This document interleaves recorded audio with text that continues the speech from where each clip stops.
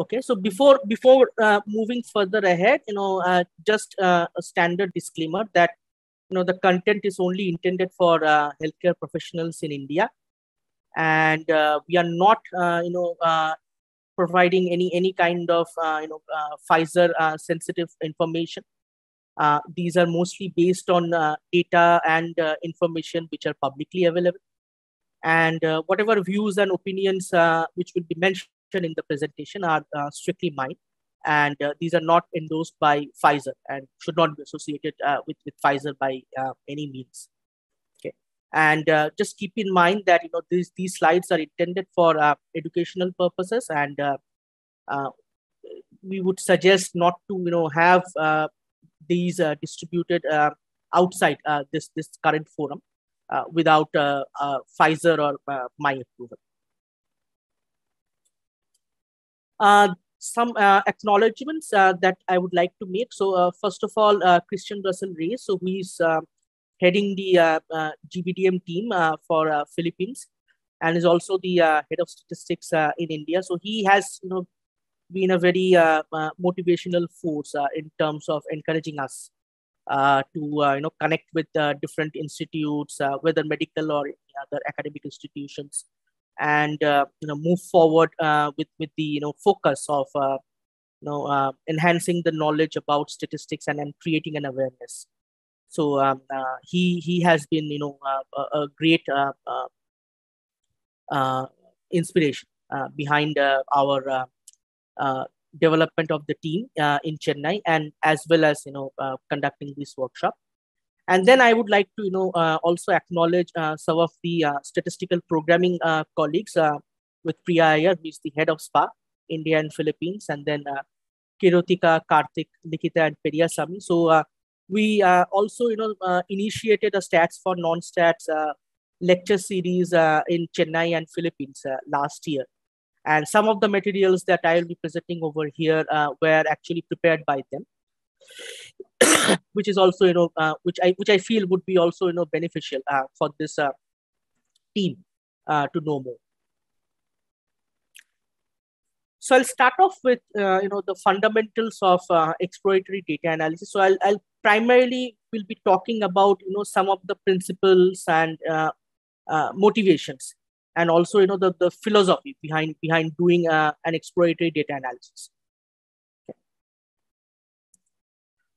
So we, we, we hear about this term EDA, uh, you know, uh, now, you know, most, most of the time, uh, especially in your field and, and of course in, in, in the field of statistics as well. So what is exploratory data analysis? So it is not like, you know, a single analytical approach or uh, a single method uh, to, to explore data.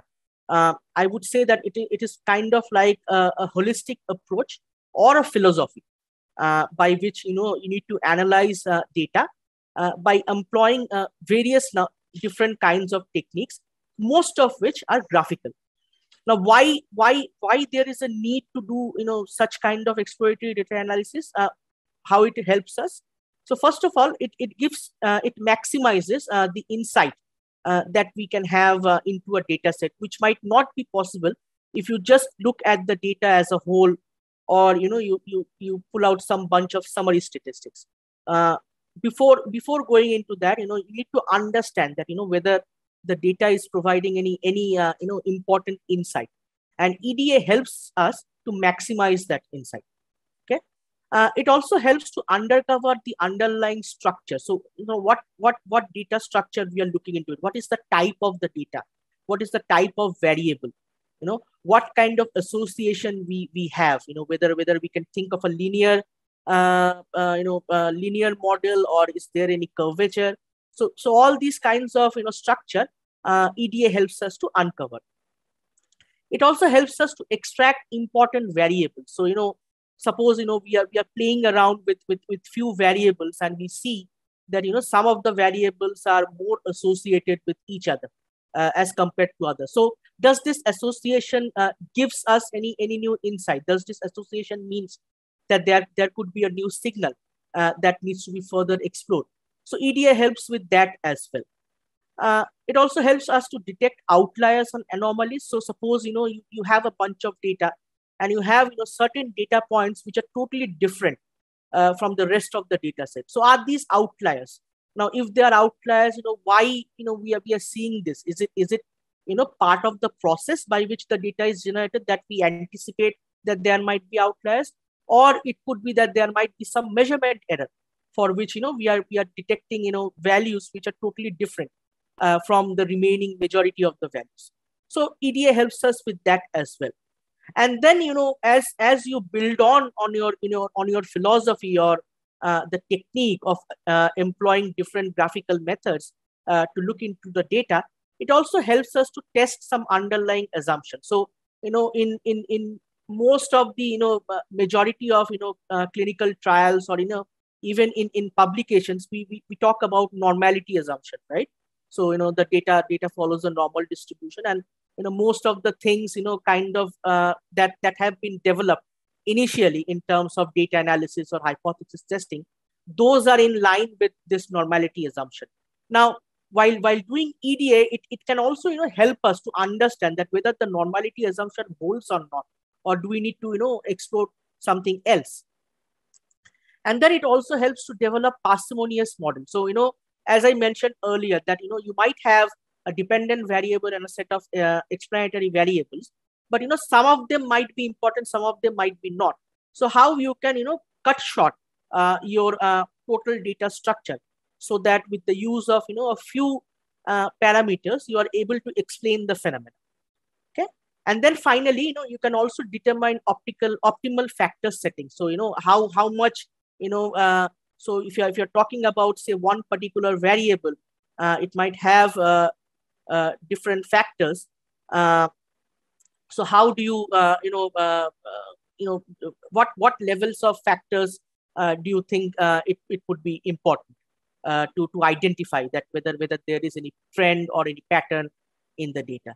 So the moral of the story is that EDA is basically an approach. It's it's not a set of techniques, and it's it's also not like you know uh, a, a, simple rule like one plus one equals to two you know you need to i mean and and, and there is not a particular sequence that okay i need to start off with a scatter plot then uh, maybe i can i can look at a box plot no you know it, it's it's a holistic approach uh, and it's more of a philosophy and attitude on how a data analysis should be carried out. So you know if you have you know a set of tools set of graphical techniques you know employ that one after the other.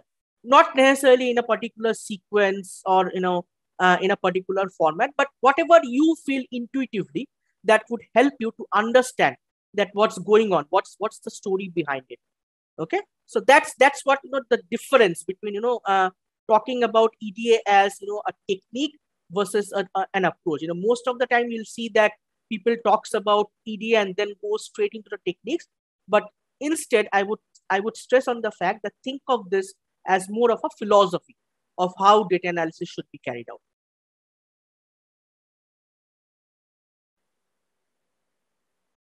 Okay, so as I so so so now you know let's let's uh, you know go go uh, a bit into you know the, the the philosophy. Okay, so as I mentioned that you know sometimes you know in in many journals or in in many uh, you know uh, uh, web resources, you will see that you know EDA mostly refers to statistical graphics, and and and most of them, most of the time they are they are almost you know interchangeable. That you know EDA means you know you have to explore through graphs, but it's it's exactly not identical. Okay, statistical graphics is more more of a collection of techniques. You know where you are you're focusing on you know a data characterization aspect. And when you when you when you apply all those collection uh, in, a, in a very systematic way to to understand the pattern that whole process is the eda okay? So ed as i mentioned so so it, it it's more of a it, it encompasses a larger avenue. Okay? So eda basically you know helps us to see that what's going on in the data. Okay whether it is able to reveal any structure or any any any pattern. And then you know think about the assumption. We, we you know most of the time we do the other way. We, we see the data we, we uh, something you know gets stuck to our mind that okay i would be fitting a normal distribution over here or a t distribution and, and then i'll analyze. Eda is just saying that just the opposite. First you look into your data. First, you understand your data, and then you think that whether you know uh, based on whatever understanding you have, whether now the assumptions that you want to fit in, whether that follows or not. Okay. And so, uh, finally, I would like to touch on the point that you know it heavily uses the collection of techniques which we call statistical graphics. So graphical, you know, uh, analysis is a big part of EDA. You know, uh, not disregarding that, you know, the summary statistics are not important. They are of course important, and we will cover over here as well. But most of it is the graphical techniques. Okay, so it it relies heavily on the graphical techniques, but it is not identical to a statistical graphics. So that's the thin line between you know calling calling EDA as a collection of statistical graphics uh, and, and you use it to explore your data and and talking about you know it, it it's it's a broader umbrella where you use different tools most of which is based on graphical techniques and see that what's going on in your data before making any assumption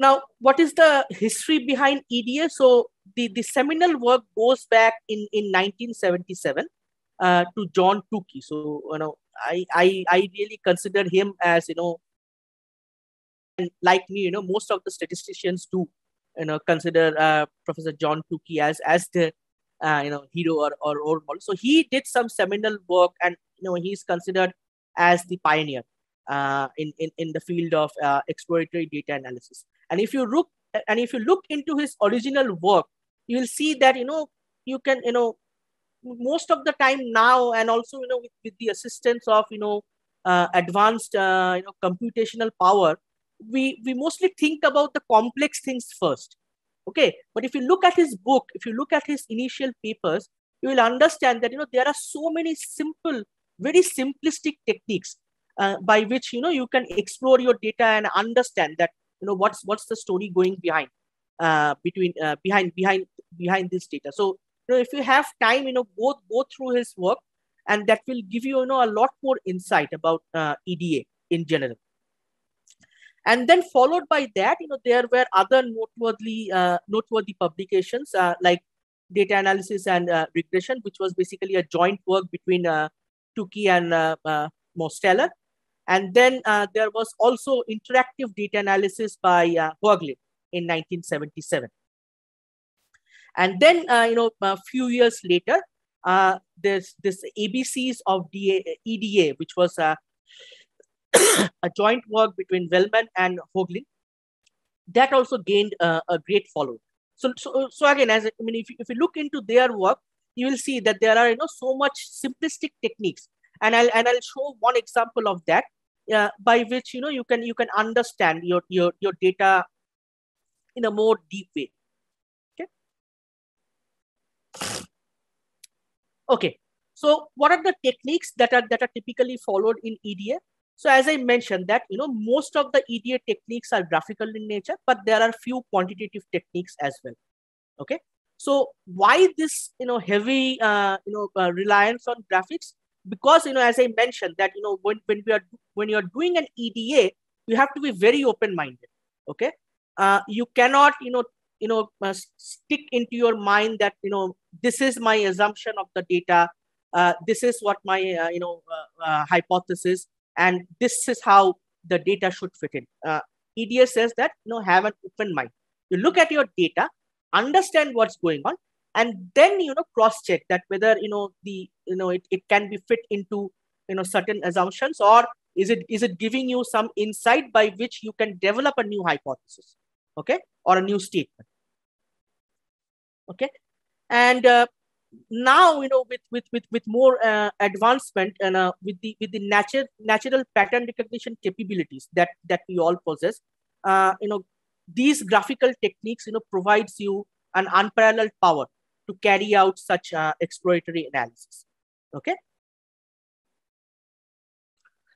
Okay. The other thing is that you know the graphical techniques uh, which which are employed in EDA they are most often very simple. Okay, and and and this is again you know carrying carrying from the philosophy of Tukey, uh, Tukey John Tukey, that you know you, you look you, you think about the simple things first, then move into the complex parts. So you know you can you can plot your raw data, such as you know you can you can think about data traces, histograms, probability plots, lag plots, and understand that what's going on, what what the distribution looks like. You can also you know plot simple uh, statistics like the mean plots, standard deviation plots, or box plots. Okay, and then the third thing is that you you know uh, position such plots so as to you know maximize the natural pattern recognition ability. So you know suppose uh, you you are looking at different aspects of the same data. You know you put it side by side and then see that you know how how the pattern is changing.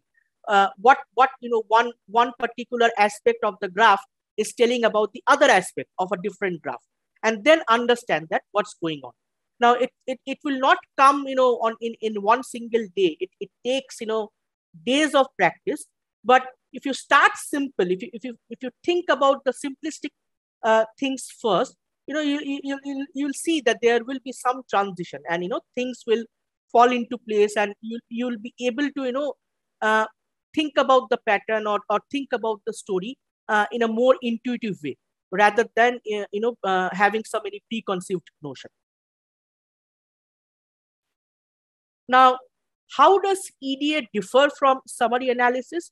Now, again, you know, uh, I'm, I'm, I'm going slightly detour, you know, all this while I'm talking talking about the fact that, you know, look at the graphs, look at the graphs, but I'm not, I'm not disregarding the importance of summary statistics or summary analysis. They, of course, have a major part to play in data exploration, in exploratory data exploration, uh, data analysis. Okay, but how? But uh, you know how EDA, you know, in particular differs from the summary analysis. So what, what do we do in a summary? And we'll, we'll also see that in detail in, in, in you know, uh, some of the later slides. So when I'm talking about a summary, I'm mostly talking about, you know, an analysis where basically I am reducing a data set. Okay, so basically suppose, you know, I have uh, the mean uh, uh, serum creatinine calculation of 1000 patients. So you can imagine that there will be thousand data points, right? Uh, if, if I'm collecting at one particular time point. Now, is it giving me any any any particular insight? Just if I look at all those thousand data points together at the same time, probably no. So I what I need to do, I need to reduce that uh, data set. So I can think of you know what is the average serum creatinine, or what is the median serum creatinine. How much is the variability from one subject to another? So basically, I am reducing my data set to a bunch of you know single digit single numbers right? So so that's that's mainly the motivation of doing a summary analysis. It is quite passive in nature. So what do i mean by passive? That once you are done you know you cannot change it right? So it, it, it it's kind of you know uh, stands in, in time. You know it's not dynamic okay? The focus lies in the past. So what do i mean by that? So you know already you have collected the data and now you you know that okay this is my mean this is my median. And and you know, that's that's all. So it, it has been done in the past. So you cannot you know until and unless you are you are collecting you know data for more subjects you know that that that information that you have got is from some past occurrence that has happened. Okay? And quite commonly the purpose basically is to arrive to some few key statistics which i said that you know you can talk about the mean or the standard deviation. Eda on the other hand has a broader group so what is this goal? So the goal is to gain some insight, okay, into the engineering part. You know, engineer. When I'm talking about engineering, I'm mostly talking about the data engineering part, okay, not not not the field in itself, or the scientific process behind the data. Okay, so EDA is active and futuristic. Why I'm saying because as I said before, that you know you are looking at the data and then you are trying to think about that you know whether my assumptions would fall into place or not okay so it is kind of you know giving insight about what you need to do in future. So that's that's a major difference between uh, eda and summary okay? And the third thing is that you know to understand the process and you know how to improve it in future eda uses the data as a window okay to peer into the heart of the process. So you look at the data you understand what's going on what kind of relationship exists between the variables whether it is giving you any new insight, whether it is giving you any particular signal, and then you decide that you know what I can do with this data later on, or with the information that I have got, maybe I can apply that to another similar data set and see that whether there is some consistency or not. so that's what the yes. I'm sorry for interruption. So uh, uh, there are some uh, comments coming to chat box. Mm-hmm. So uh, just to intimate you, if you want to uh, attend those things after end of the presentation, that is fine.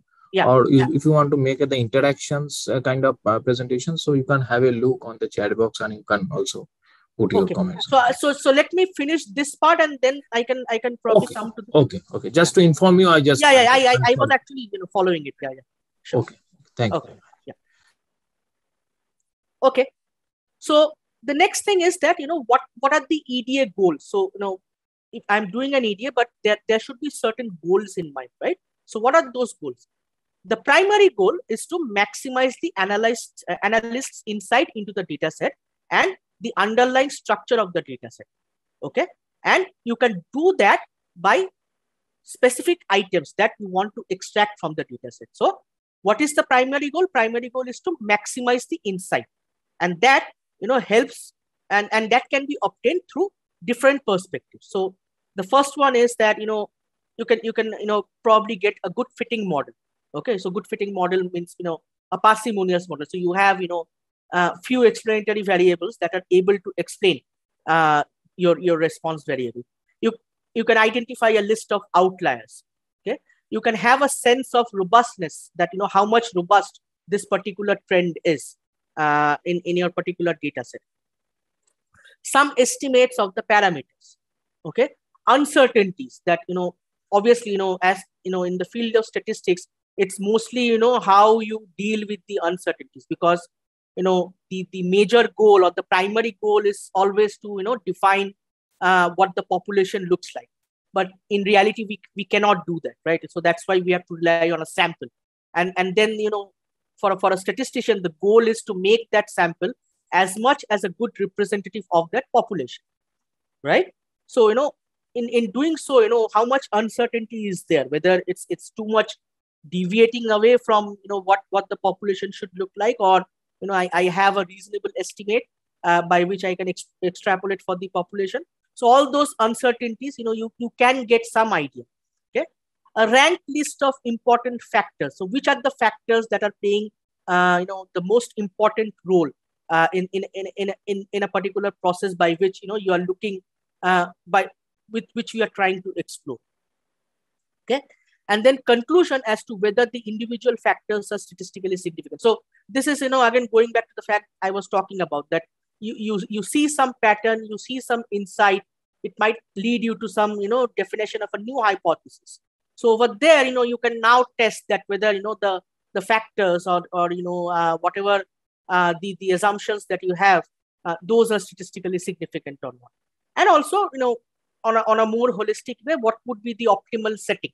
uh, by which you know you can you can uh, you know explain such trends or patterns so again i'll focus on the insight so what do i mean by insight insight implies detecting and uncovering the underlying structure of the data so you have the data you you try to investigate you try to uncover as much as possible.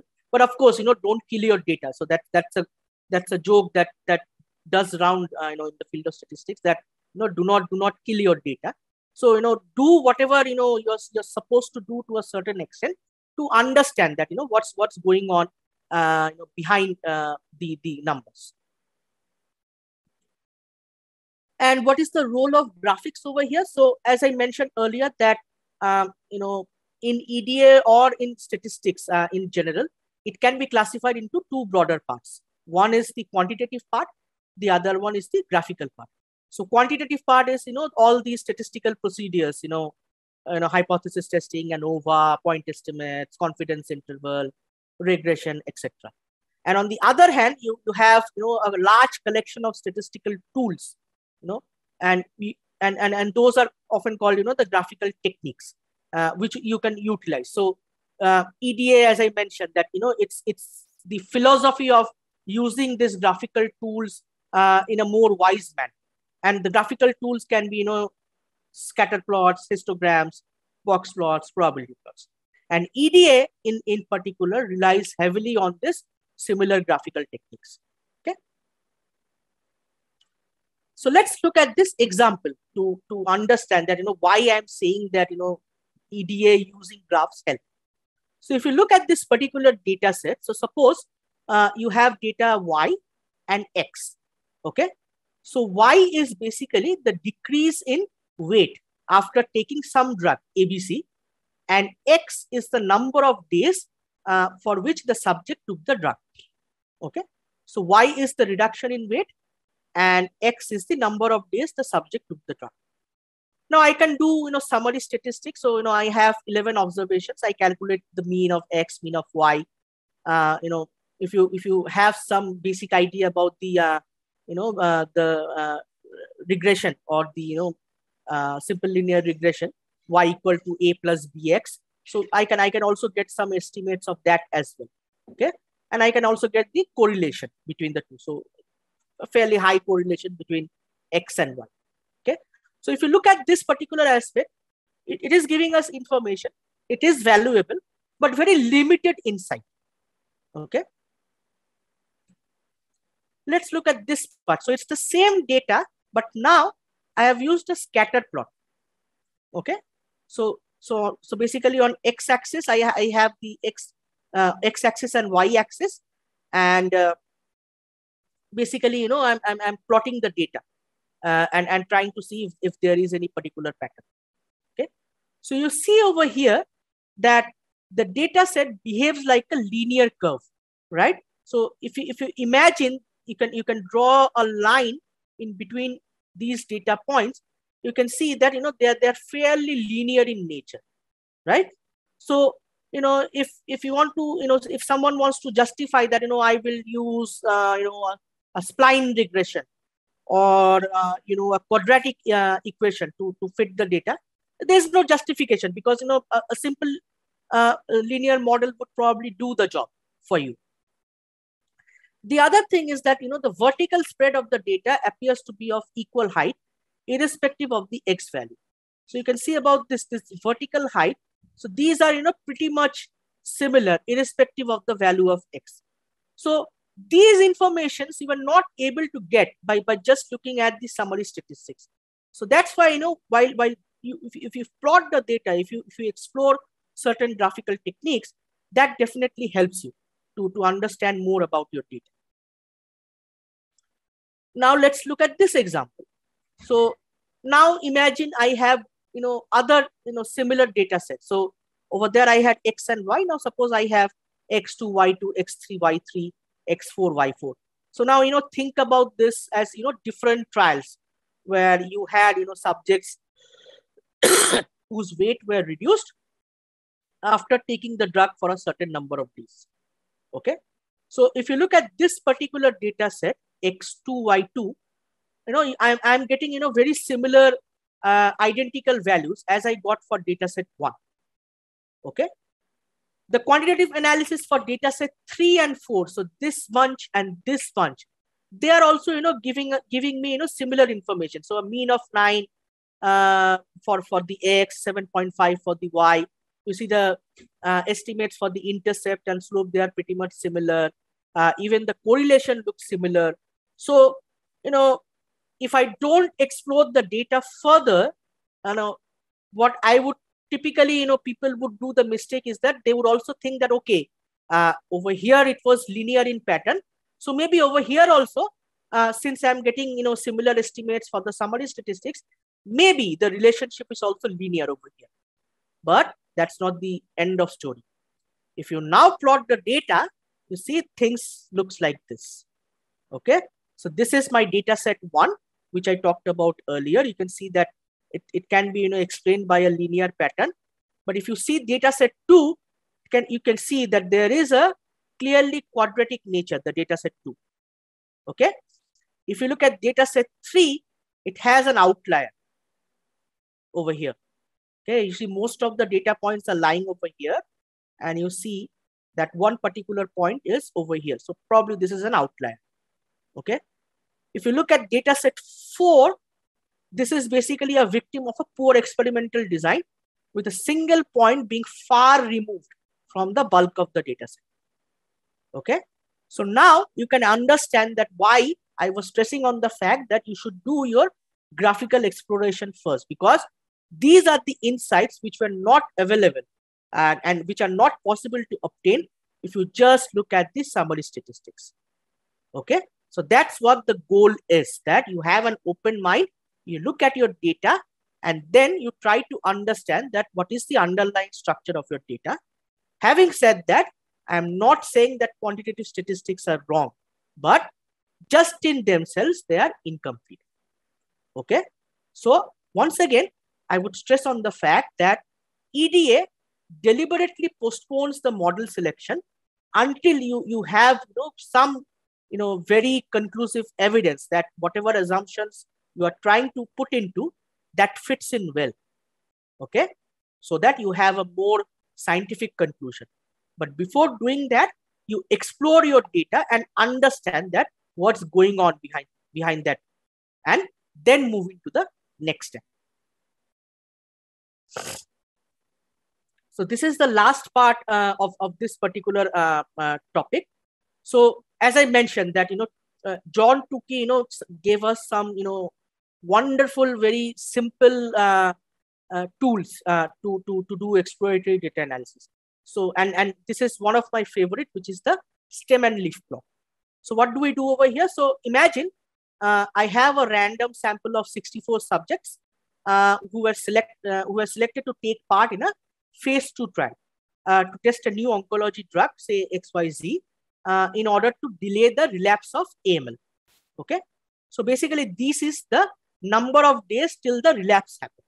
Okay. So for the first subject, you know, uh, after 111 days, a relapse happened. For the second subject, after 85 days, a relapse happened okay so again you know if you, you can probably you know do the summary statistics uh, you can you can probably plot uh, but you know what uh, uh, Tukey uh, showed us is something very very very simple so what he did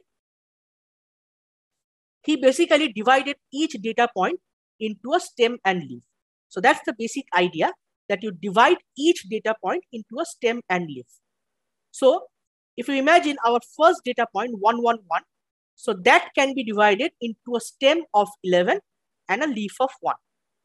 Similarly, 85, if you look over here, that can be considered as something with a stem 8 and leaf 5. Now, when you look at the next number, that also has a stem 8. So, both of them have the same stem, but the leaves are different. So, so there are two leaves corresponding to the stem of value 8. And this is how you plot the entire data. Okay, so 6 is the stem, 8 is the leaf. So that means that I had a data point 68. 7 is the stem, 5 and 8 are the leaves. So that means I had a data point 75 and 78. Similarly for all the others. Okay, and that's how you create the stem and leaf plot. Now, what is this in what what what uh, information these are giving me? which was probably not obtained by, by looking at the entire data set in whole. So it is giving me an insight that maybe you see the distribution is bell-shaped. So you can imagine that if I draw a line from here like this, it represents like a bell-shaped curve, right? Most of the days are in 90s and 100s. You see, most of the leaves are corresponding to the stem of 9 and the leaf and the stem of 10. Okay. The smallest day is 68 and the largest is 141. So some very basic information I am getting by, you know, applying a very simple technique, which again, you know, you don't really need to understand statistics over here at all. Can just take your data and, you know, think about the stem and leaf and just see how, how the pattern looks like. Okay. You don't need to apply any complex statistics, you know, before uh, understanding the underlying data structure. So that's the beauty of uh, stem and uh, stem and leaf, which was you know pioneered by John Tukey. Okay, so before I move on to you know the different types of data, so maybe I can you know take in uh, the, the the question. Okay, uh, so the first question is that can you please throw some light on methods to handle outliers? Okay, so I will, you know, give one uh, example, uh, which is which is the box plot. uh, by which you know you can you know uh, look uh, into you know how you can check the outliers now in order to handle outliers you know there are different techniques uh, which might not be you know in, in, in today's scope you, you know you can you can think about doing uh, you know data transformation you know the simplest thing is you throw away the data and you know uh, do the analysis on the remaining part and then include the data and again do the analysis to see that how much the estimates have changed okay? So so there are certain techniques uh, by which you can uh, you know handle uh, such uh, outliers okay?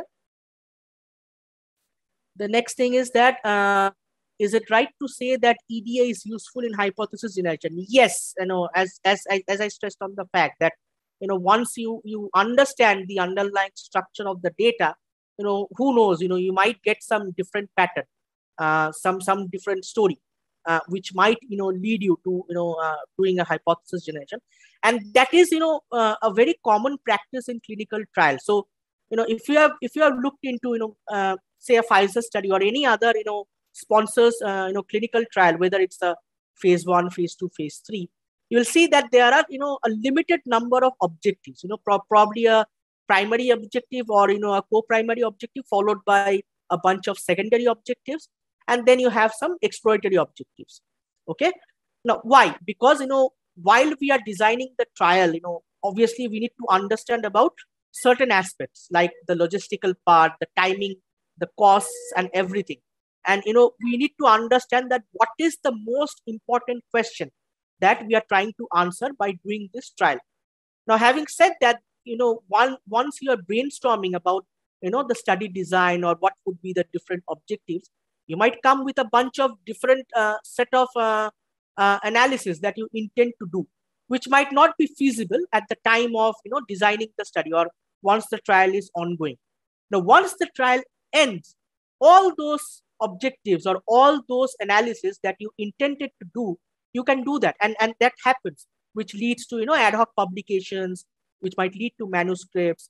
So these are basically coming out from the exploratory data analysis. So so once you have all the clinical trial data and a trial has ended now we can explore. We can we can understand that okay you know we might have looked at into the data from the say we have just used the full analysis set uh, to analyze and maybe we have used you know subgroups of age but there might be you know other subgroups so what about you know uh, HER2 positive HER2 negative you know if you know let's let's do a subgroup by the biomarker status or you know let's do a subgroup uh, using some baseline characteristics why where we anticipate that you know the results might be a bit different and you know if we if we see that you know there is an overwhelming evidence that maybe you know one particular subgroup uh, responds very well to the treatment that often leads to a new trial where you know you you focus on that particular subgroup and you know the precursor is basically coming out from the initial study that you designed. So so i hope that that answers uh, that that question. Uh, the next one how do you address multiplicity in data analysis? So multiplicity probably uh, you know you, you, may not be able to do that because uh, that's that's a you know different philosophy. So you know multiplicity you know it kind it might come from you know different uh, avenues you know say you know if you look at your data multiple number of times uh, or you know if you analyze your data multiple number of times you know you might come across you know a, a, a particular uh, you know statistically significant result uh, which you know uh, might be you know out, out you know just just due to chance so you you need to appropriately you know spend your type 1 error uh, in order to minimize that multiplicity. So, so that's that's you know totally that that's more you know in line with the you know hypothesis testing and you know more advanced topics on hypothesis testing. So I don't think you know EDA would would, would probably help you uh, in in in exploring that uh, in uh, to to address multiplicity. Any any other questions uh, before we move on to the next part? And and and sanchita you know please feel free to you know schedule uh, you know a, a, break in between because you know sometimes you know uh, you know it, it, it might be a bit overwhelming you know for a, for a non-stats crowd. So you know feel free to you know stop me if you if you think that there might be an appropriate time to take a break Sure. Uh, so, Dr. Pritam, whenever you feel that you can take a break in between the topic because mm-hmm. um, it's in continuation, we mm-hmm. can pause and take a break for around 10 minutes. Okay, okay, okay. Okay.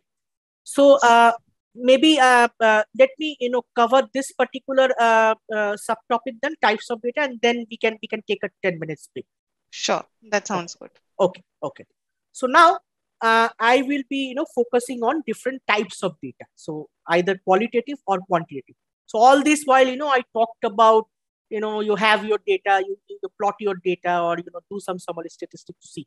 But again what kind of plot you will be using you know what kind of summary statistics you'll be using that varies you know from from one data type to another. So we need to understand uh, what is the type of data before you know applying the right technique uh, to, to, to, to check the pattern. Okay? So uh, before before going into that you know just just the motivation that you know uh, why do we need descriptive statistics? Okay?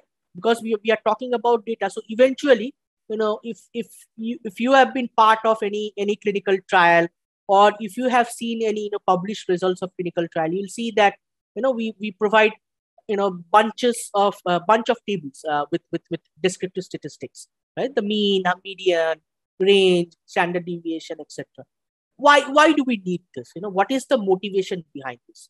Okay?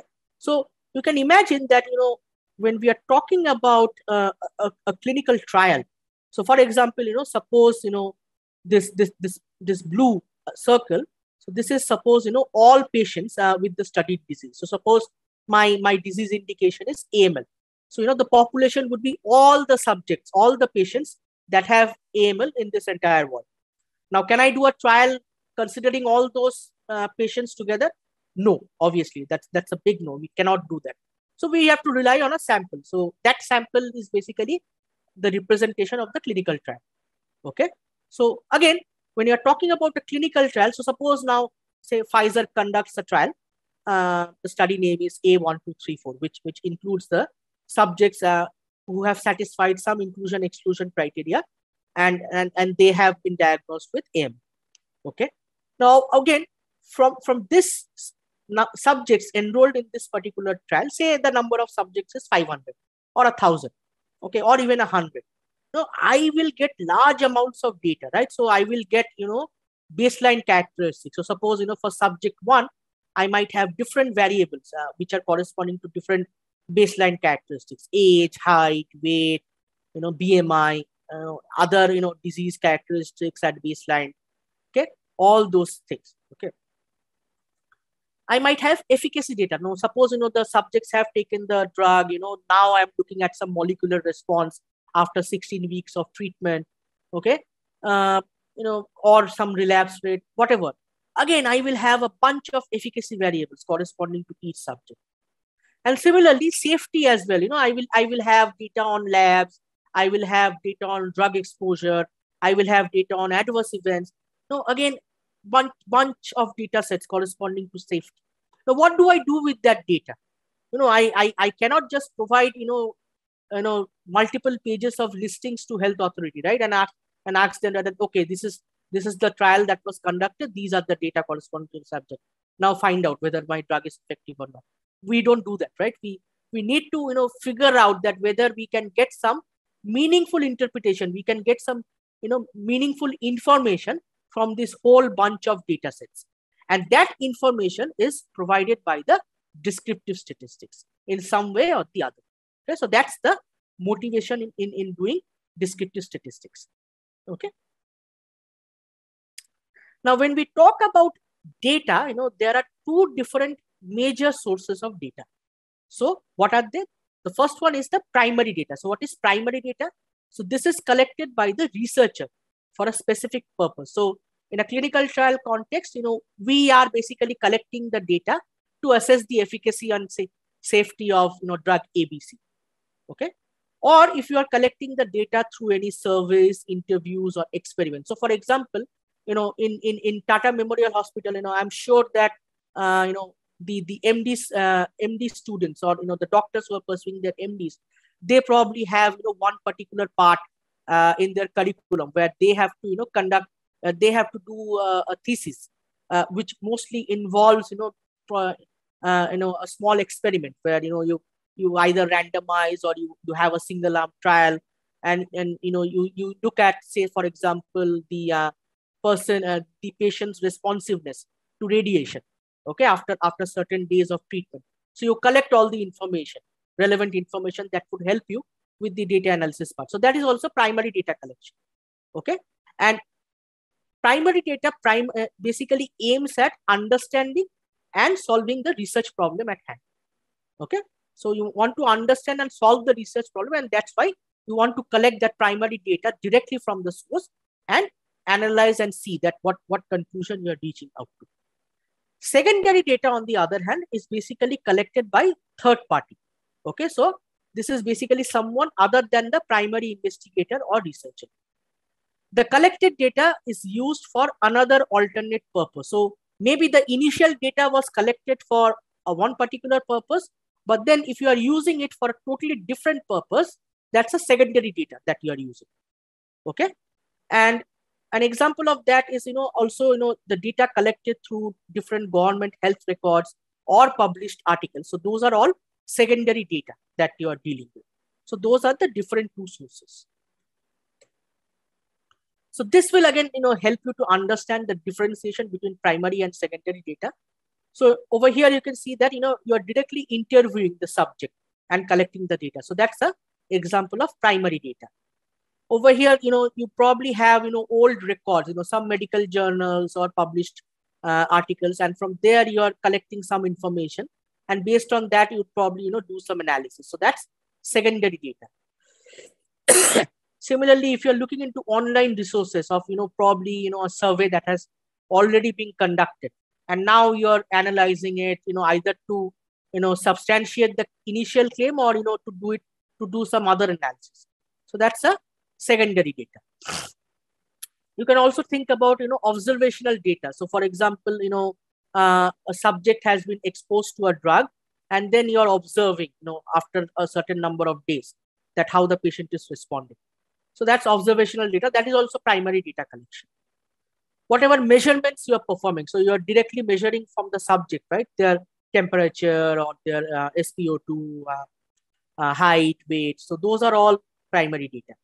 If you are using survey results, that's a secondary data. And then finally, again, if you're, if you're going back to the journals and looking at published data, that's also an example of secondary data. So that's the differentiation between primary and secondary data.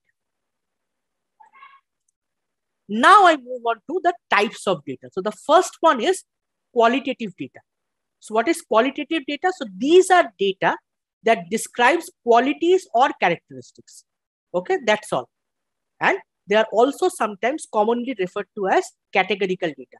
So what are examples of uh, qualitative data? So gender, okay, male, female, not reported, or you know, so, so that means that, you know, it's either male or female. So I am assigning a quality or a characteristic to that data. Okay, race, okay, whether the subject is Caucasian or Asian or African, that's all. I, I, I don't have, you know, an ordering that, you know, male better than female or, you know, Caucasian better than African. There is no ordering over here.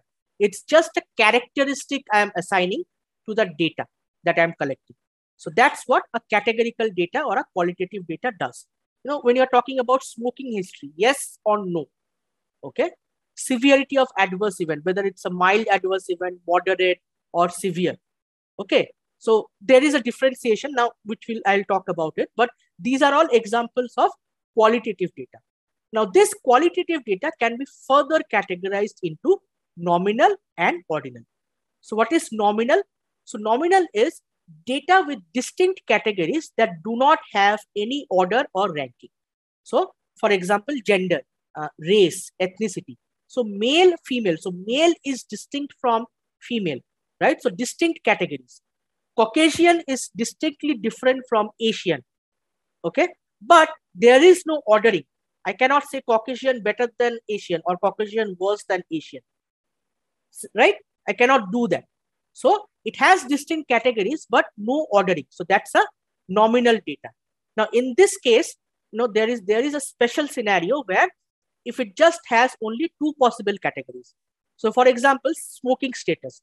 Either you are smoking or you are not smoking. Yes or no. Or survival status, whether the subject has survived or the subject has died. There are no in between or no other possibility that you can think of. So when there are only two possible choices corresponding to a nominal data, we call that as binary data. Binary means two, only two possible outcomes. Okay. So binary data is a special case of nominal data. Now in the field of qualitative data, when I have data with distinct categories and a logical ordering, then they are called as ordinal data.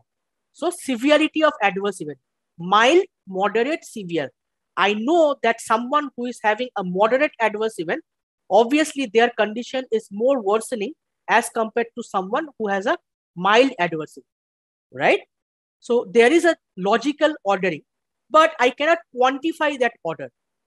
I know that there is an order, there is a distinct category. Mild is distinct from moderate, moderate is distinct from severe, and there is an ordering. Severe is more extreme than moderate, moderate is more extreme than mild but I don't know by how much. Okay, I cannot say that, you know, if you are having a moderate adverse event, that means that you will probably have a tenfold more pain as compared to if you're having a mild adverse event. We cannot say that. So distinct categories that has a logical ordering, that's what is a ordinal data. And distinct categories but no ordering, that's nominal data. Distinct categories with just two possible outcomes, that's a binary data, which is a special case of nominal data. Okay. So I hope that helps you understand what qualitative data is. Next, we move on to quantitative data. So what is quantitative data? Over here, data is measured in the form of numbers or counts. So that's why they are also called numerical data. So what do I, what, what are, what are, you know, classic examples of that? Say height, weight, number of subjects per treatment group. So these are all examples of quantitative data because we are using some numbers, right, to, to identify them or to measure them. Okay. Now, again, this has different categories. The first one is discrete. So what is discrete data? So discrete data means that I have a countable number of distinct values. For example, number of subjects in a treatment group or number of adverse events by treatment. I will probably have, you know, one subject in a treatment group, two subjects in a treatment group, 100 subjects in a treatment group. I won't have 100.75 subjects in a treatment group, right? So it's a distinct countable number. I won't have 5.4 adverse event uh, corresponding to treatment A, right? I will probably have five adverse event or six adverse event. So these are distinct values, countable number of distinct values. So that's a discrete data. And then I have continuous data, which can take any numeric value within a given interval. For example, height. So suppose, you know, I'm, I'm, I'm doing a study on uh, Indian subjects, you know, I would anticipate, you know, the height would be somewhere between, say, you know, uh, uh, uh, 4 feet uh, 10 inches to 6 feet 2 inches. And in between these, the, the subject's height can be anything. It can be 5 feet 1, it can be 5 feet 1.5. It can be 5 feet 1.666. Any value, any possible value between an interval, within a given interval. Similarly, for weight as well, you know, if I'm conducting a study for adults, I probably anticipate the weight would be would vary between say, you know, uh, 60 to 100, for example. And between 60 to 100, the subject's weight can be any value. Okay, it can be a distinct value. It can be, you know, a, a value with the decimal point as well. So that's the differentiation between a continuous data and discrete data. Now again, in continuous data, it can be further subcategorized into interval and ratio scale. So what are they? So in interval scale, the order and the exact differences between the values are known. Okay. So for example, you know, if you're, if you're measuring the body temperature, uh, uh, I think there is one one one typo over here. Uh, so body temperature in Celsius uh, is, is is is in the interval scale. Okay, not not Fahrenheit. Okay, So, you know, I suppose, you know, a subject's body temperature is say, uh, you know, 35 uh, degrees centigrade and another subject's uh, temperature is 40 degrees centigrade, for example. So I, I, I know that, you know, the difference is 5 degrees centigrade, right? But it does not include true zero, okay? So, you know, suppose, you know, a subject's temperature is uh, 20 Celsius versus another subject's temperature is uh, 40 Celsius, 40 degrees Celsius.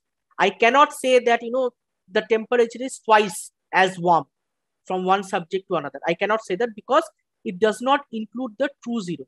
So although I am able to, you know, get the difference, you know, I know the order that, you know, 40 is more than 20. There is a difference of 20 degrees centigrade between subject one's temperature versus subject two's temperature. But I cannot say that, you know, 40 is twice as warm as 20. It does not include the true zero. Whereas in the ratio scale, it has same characteristics as interval, but it includes the true zero. So the classic examples over here is height or weight. So suppose, you know, someone's height is, uh, say, uh, three feet versus another person's height is six feet. So I can exactly say that, you know, subject number two is twice as tall as subject number one. Okay. You know, uh, if I'm talking about uh, true zero, you know, weight zero basically means, you know, weightless. Height zero basically means that you know there is no height. Whereas in in temperature when i'm talking about zero degrees celsius it's not exactly zero. Zero has some value. Okay? I'm just determining i mean you know not, i'm using the notation zero degree centigrade but that that doesn't means that you know actually there is no temperature okay whereas in in fahrenheit i can i can do that so i'll, I'll when i when i you know when when sanchita will probably resend the slide or i can i can do it later on I'll, I'll update that typo. So just an interpretation with an example that, you know, a weight of four grams is twice as heavy as two grams. Whereas, you know, a temperature of 10 degrees centigrade is not twice as hot as five degrees centigrade. So that's the difference between the interval and the ratio scale. Now uh, we'll, we'll finish off with this knowledge check. So now, you know, uh, you can either uh, unmute yourself or uh, you know you can uh, uh, probably you know just type in your response so you see you know on your left you have a bunch of different variables so gender height body temperature at celsius race you know the the amount of drug given to a subject dose number of events in medical history uh, smoking history uh, A severity uh, you know some you know scale to check that you know uh, the quality of life. So you know i am i am feeling better now. So you know you can either strongly disagree or disagree neutral agree and then strongly agree. Okay? And then you know the number of days or number of months of stay in hospital so if i ask you know you that you know what do you think gender or sex you know what kind of a variable it is any answers okay i'm I'm getting one as nominal. Everyone, everyone agrees that it's nominal or anyone has any different opinion? Okay. So I mostly see this as nominal. So it's it's straightforward, right? So male, female, right? So you know, distinct categories, but no ordering. Okay, so it's a nominal scale. What about height? So height, you know, is it nominal, ordinal, discrete, interval or ratio. So height is ratio. Yeah. Okay. So so so first of all, it's it's a quantitative variable because you know we are using numerical data, right? To to to you know uh, assign the outcome, and then you know as I mentioned that it includes the true zero. So I so I can uh, find the exact difference. I can have, find the order, and I can also and and and also there is true zero. Okay, so uh, that's why you know uh, uh, as I meant as as as you have seen in the previous example, you know someone with a height of six feet they are twice as tall as someone with a height of three feet. So that's why it's the ratio scale, not interval, because you know over here we have the true zero. Okay.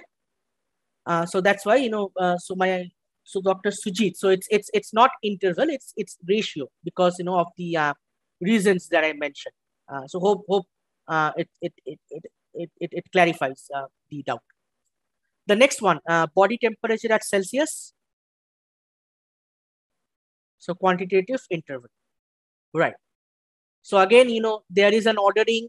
Uh, you can find the exact difference, but you don't have the absolute zero or the true zero. So that's why, you know, uh, a temperature of 10 degrees centigrade cannot be considered as twice as hot as uh, a temperature of 5 degrees centigrade. What about race? Race is nominal. Right. So again, you know, distinct categories, but no ordering. What do you think uh, dose would be? Ratio. So dose by dose, I'm saying, you know, the amount of drug. Ordinal. Uh, so uh, Pukamala, can you can you explain that why uh, you are saying this as ordinal? And Bhavesh, why why do you think this is discrete?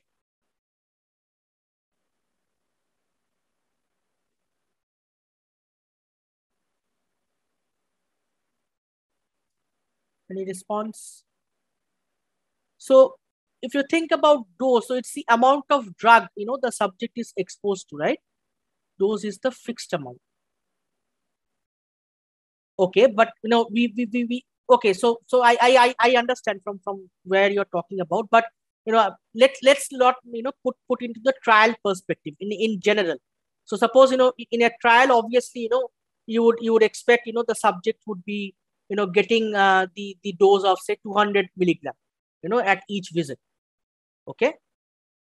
So uh, of course you know so so so uh, then then it's a fixed amount. But you know in general you know if you if you think about if you, if you leave aside the aspect of uh, you know uh, the, the the clinical trial or uh, any any experiment you know dose in itself you know it can take any value right?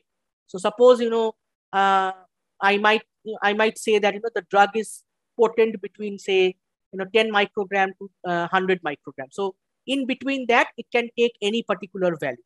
So from that perspective, you know, I'm talking uh, doses ratio. Okay, and because again, you know, you, you will be able to you know say that you know something is you know twice as strong you know in terms of dosage as as compared or you know whatever times because it includes the absolute zero. So zero dose dose means actually you know the, the subject has not got any any drug. Okay? What about the number of events in medical history? Number of events in medical history? So that's discrete right? Because you can have one event two event three event. Smoking history i think that's straightforward. That's nominal. And uh, do you do you remember what is the special category Lena, yes, exactly. So that's that's the binary. Okay. What about the next two? Uh, adverse event severity and you know, I feel better now, quality of life score. So both are ordinal, right? Because you know there is distinct categories and of course there is a logical ordering. Okay, we cannot quantify that order, but we know that you know, you know, strongly disagree obviously means you know it's a stronger opinion as someone saying uh, i just disagree. Okay? And finally you know uh, if i if i'm talking about say number of days or number of months of stay in hospital what would that be?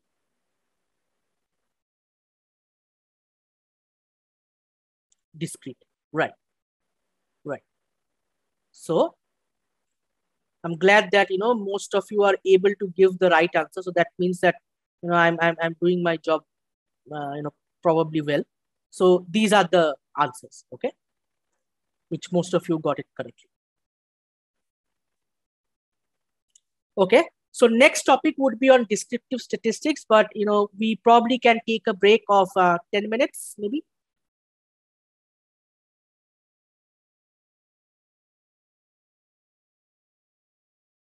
So uh, if you if you, if you follow through you know the the the principles of uh, EDA you know I, I said that you know uh, we, we we look into the data to to get some insights and we do that through you know graphical techniques or you know, some summary measures. And uh, in doing so, you know, as I said, that you know, the first important step is to identify the type of data. Okay, so that we have talked about that, you know, it can be qualitative or quantitative. And now, you know, based on the type of data that you have, you know, what kind of descriptive statistics uh, you can uh, apply in order to get some more information. Okay, so uh, when I'm talking about descriptive statistics, so basically, you know, I'm talking about how you can describe, present, summarize, and organize your data. Okay, so these are basically, you know, numerical calculations or representations that you can do uh, based on the data that you have. Uh, and it can be done through tables or graphs.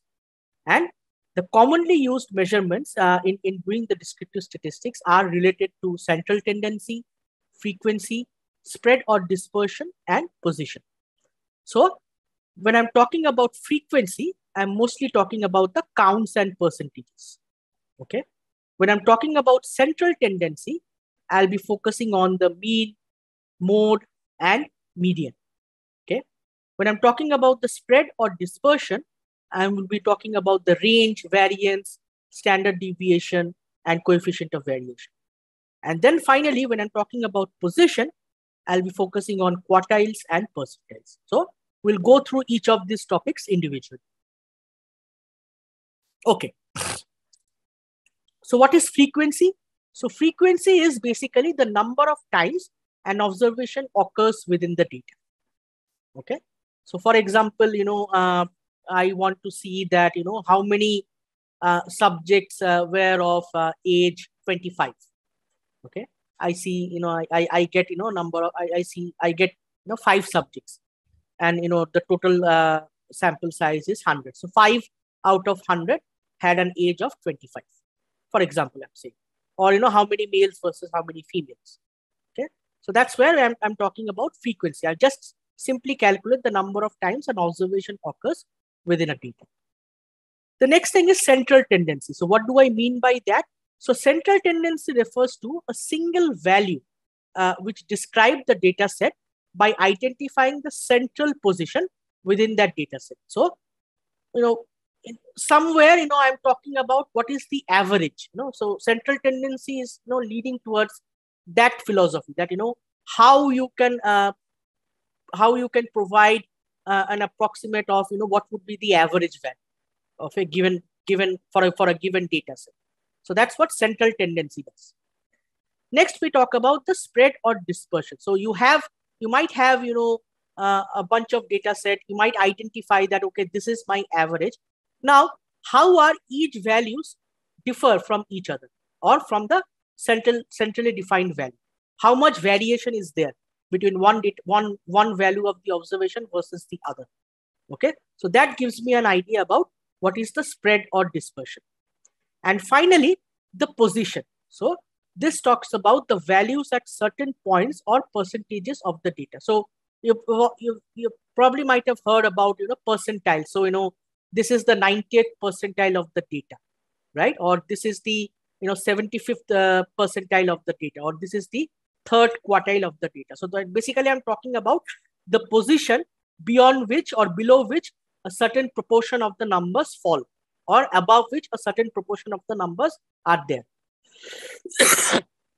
so that's what position gives you an idea. So you can see that each of this aspect gives about gives you an idea about different, you know, uh, uh, different set of, you know, uh, what should I say, you know, essence of, you know, what what uh, you know the, the data set is talking about. So i can i can talk about the frequency i can talk about the average i can talk about you know how much variability is there or at what position the particular data point lies as compared to the other uh, observations. So start off with uh, frequency and percentages. So what is so over there you know count or frequency what is that? So basically this is the number of occurrences of a corresponding value. Okay? And then percentage is that you divide that count by the total number of observations. So i'm sure most of you might have seen a table like this in a in a published clinical trial result. So you know suppose i'm summarizing the demographic characteristics okay, of a study XYZ1234. Now, the first variable over here is gender. So it's a nominal variable. It has three categories, male, female, and not reported. So five is the number of females that I found in 13 subjects who got drug A. Okay, so my count of female subjects in drug A is 5. So that's my count. And then if I divide 5 over 13, I get 38.5. So 38.5 percentage of the subjects who were assigned to drug A are females. So see how, how, how I'm trying to derive you know, important, meaningful information from the original data set. So I count the number of females corresponding to drug A. Similarly, I can do it for drug B and then for total. And then I'm dividing it by the total number of observations to find the percentage. Okay. So for nominal and ordinal data, this is the most preferred way of summarizing. You just count the frequency, you count the number of occurrences, and then you find the percentage. Okay. Similarly for ethnicity as well. So, you know, in drug A out of 13 subjects, 11 were not Hispanic or Latino. And so the percentages is 84.6%. Okay. So that's how you summarize a nominal or ordinal data. Fine. Now, another important aspect to understand over here is that any continuous variable can be transformed into qualitative data by splitting the continuous scale in categories. So, you know, in, in, in many demographic table, you might have seen that, you know, apart from providing, you know, the summary on what is the mean age, what is the median age, we also provide, you know, a summary of, you know, what is the number of subjects below age 65 and greater than equal to 65, or it can be any other threshold, depending on the context.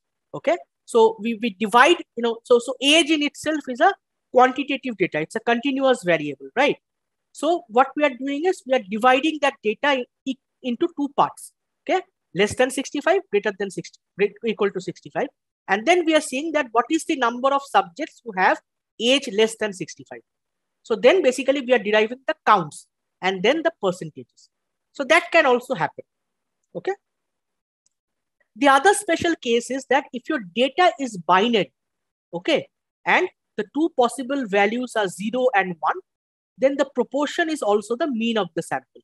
So for example, you know, I, I have a data set where the 0 defines that, you know, the subject has not survived and 1 defines the subject has survived. So basically, I'm talking about survival status. Okay, so, you know, instead of zero and zero or one, you can you can think about one and two also. But you know, this is the simplistic approach.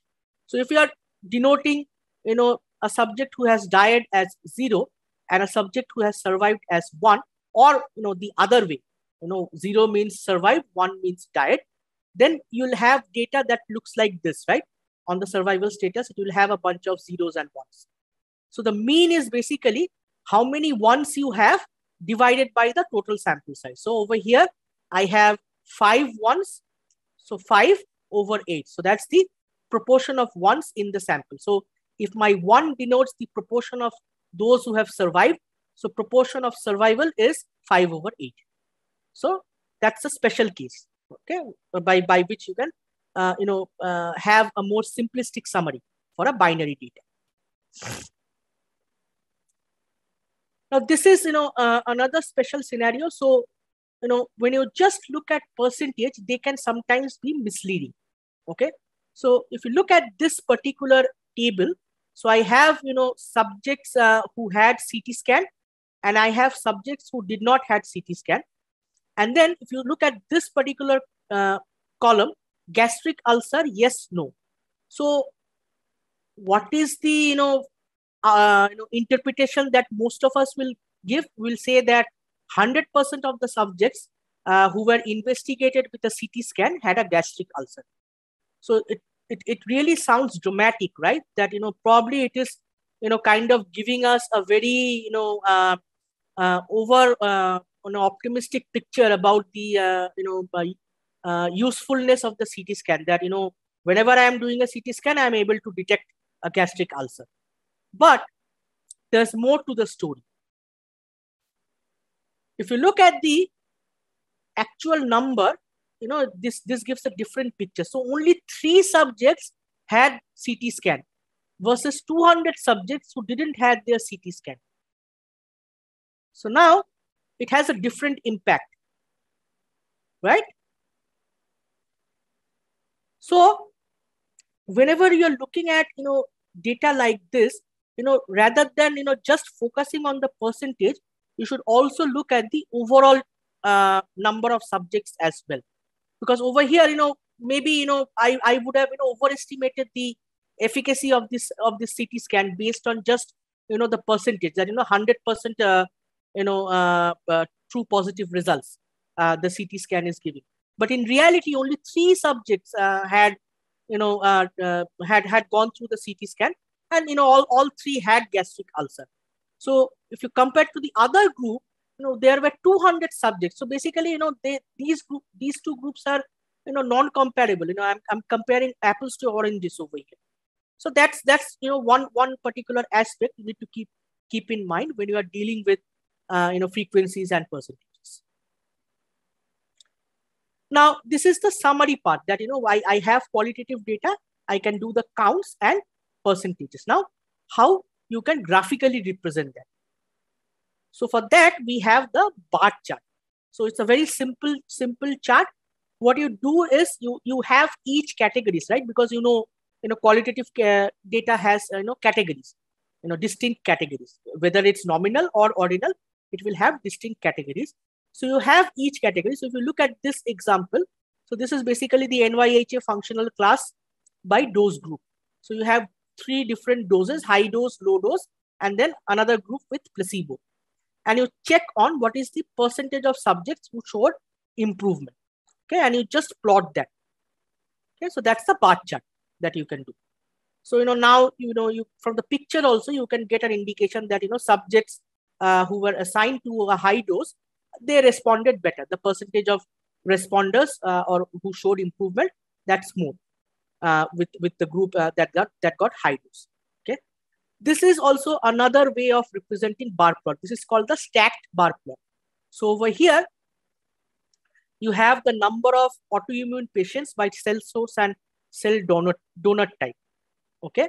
So over here, uh, you have the adipose MSC, adipose SVF plus uh, adipose SVF plus PRP, bone marrow MNC, etc. And then for each, you're calculating the different categories. Okay, and then you are plotting it or color coding. So in this particular group, you see that the percentage of autologous is more as compared to allogen. Okay, if you look at this particular group, this group has all the subjects who are allogenic. Okay. So this is the pictorial representation of or the graphical representation of bar chart. One of the graphical representation of uh, qualitative data, which is bar chart. This is another, uh, you know, very uh, commonly used uh, uh, chart, which is called the pie chart. Okay, so it, it basically represents a pie.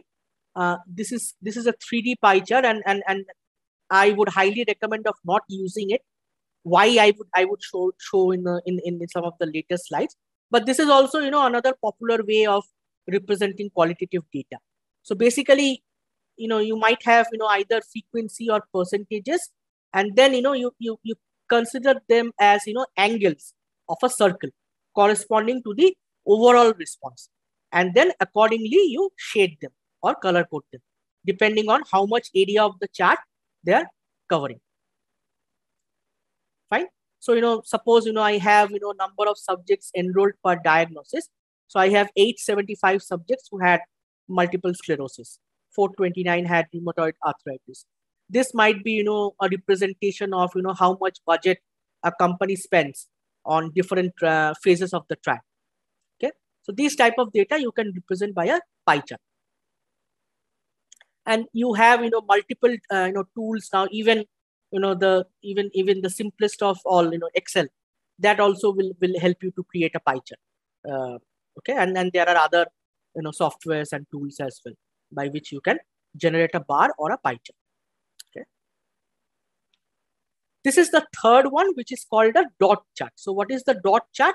So suppose you know i have data on most frequent uh, on therapy adverse event. Okay, so I am basically plotting my percentages.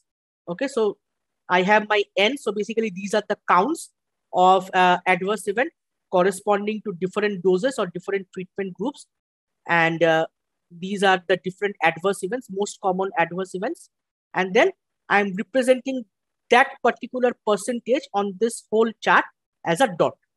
Okay, so all the red dots uh, over here corresponding corresponds to dose B, and all these blues correspond to uh, uh, dose A. Okay, so these are the same uh, adverse events. So you know, chronic obstructive airway versus chronic obstructive airway in dose A and dose B.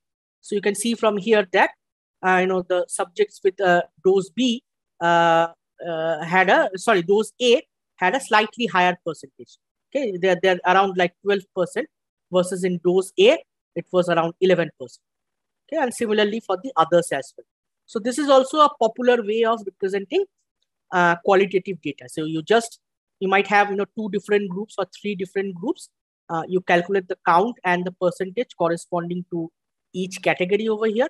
So the, over here, the categories are different adverse events, and then you represent them with a dot in this graph. So that's why it's a dot chart. Next, we move on to the measures of central tendency. Okay, so the first one is the mean or the average. So what is that? It's basically, you know, it's the sum of the observations divided by the number of observations. You know, simple average that you take of a data set. Okay. Next, we have the median. So what is the median? The median is the midpoint of the data. Okay, whatever, which data is at the middle of your data set. Okay, so how do you calculate that? So first you have to, you know, order your data from smallest to largest or other way, largest to smallest.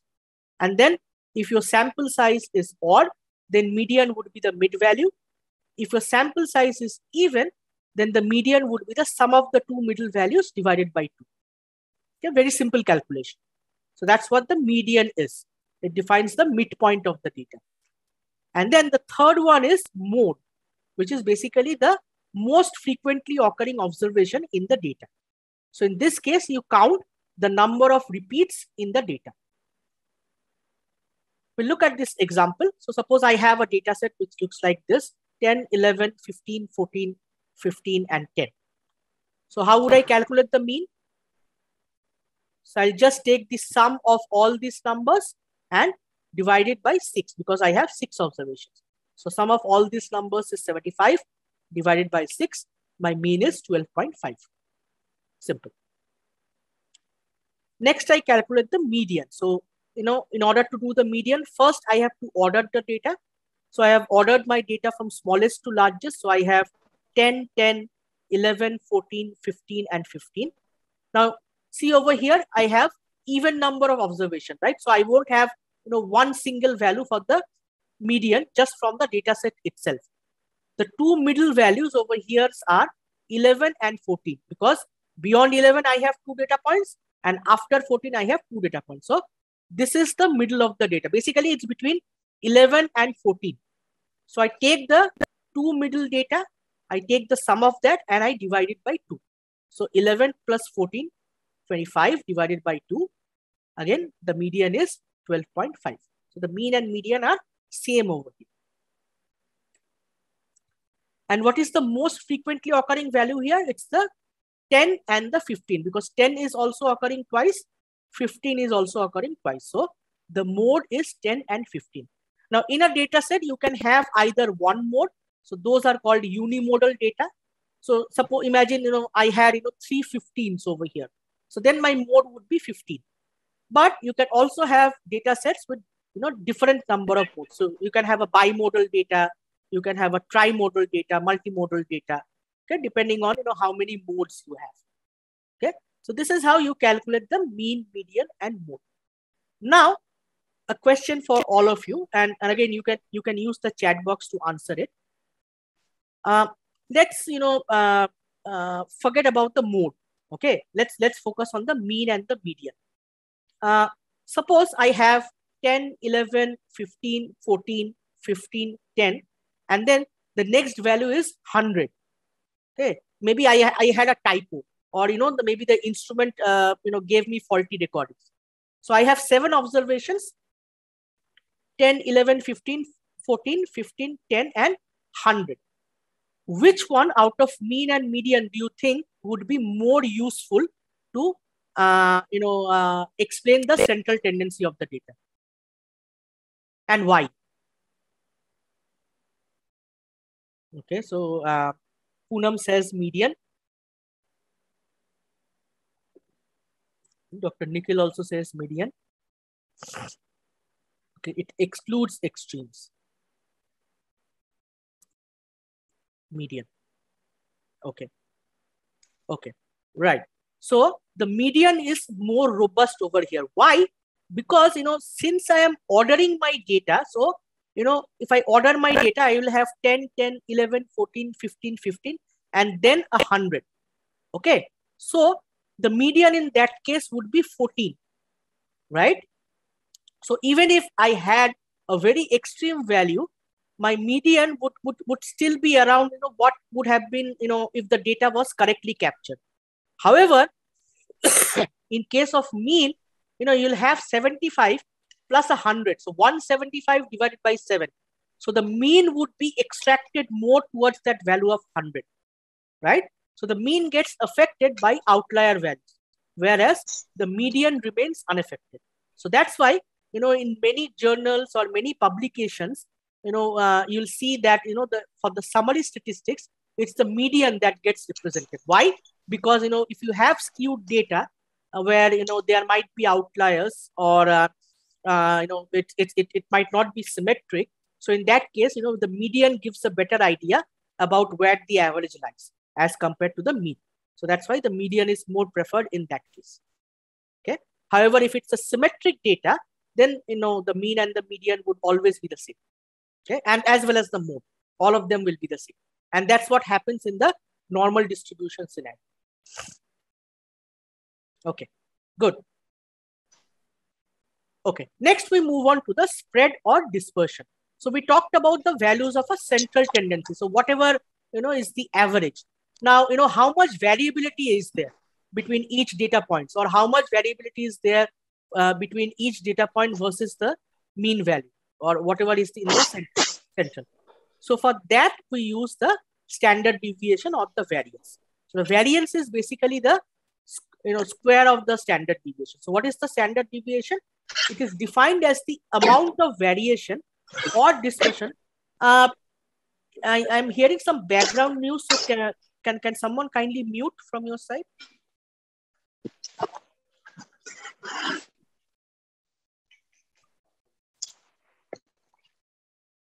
Okay. Okay. So, so standard deviation defines the measure of the amount of variation or dispersion of a set of values primarily around the mean. Okay. So don't, don't go deep into the formula uh, over here. Just, just understand that over here I have the mean and I'm seeing that how much difference uh, is there from each observation around the mean. Okay, so so so so the standard deviation gives a measure of that that how much dispersion is there among a set of values around their mean. So if my standard deviation is high, that means that more values are dispersed, more values are away from the mean. That's why the difference is large, right? So if this difference is large, obviously my standard deviation would be higher. So if the values are more and more dispersed, if the values are more and more away from the average value, that means that I have a highly variable data set. Versus if the standard deviation is small, that means that the values are more closely knit around the mean. Okay, so that means that data has less variability. Okay, and some notation part. So this x is the data value, x bar is the sample mean, and n is the number of non-missing observations. Okay, so S is the standard deviation. And if you just take the square of this, so the square root goes away, that's the sample variance. Okay.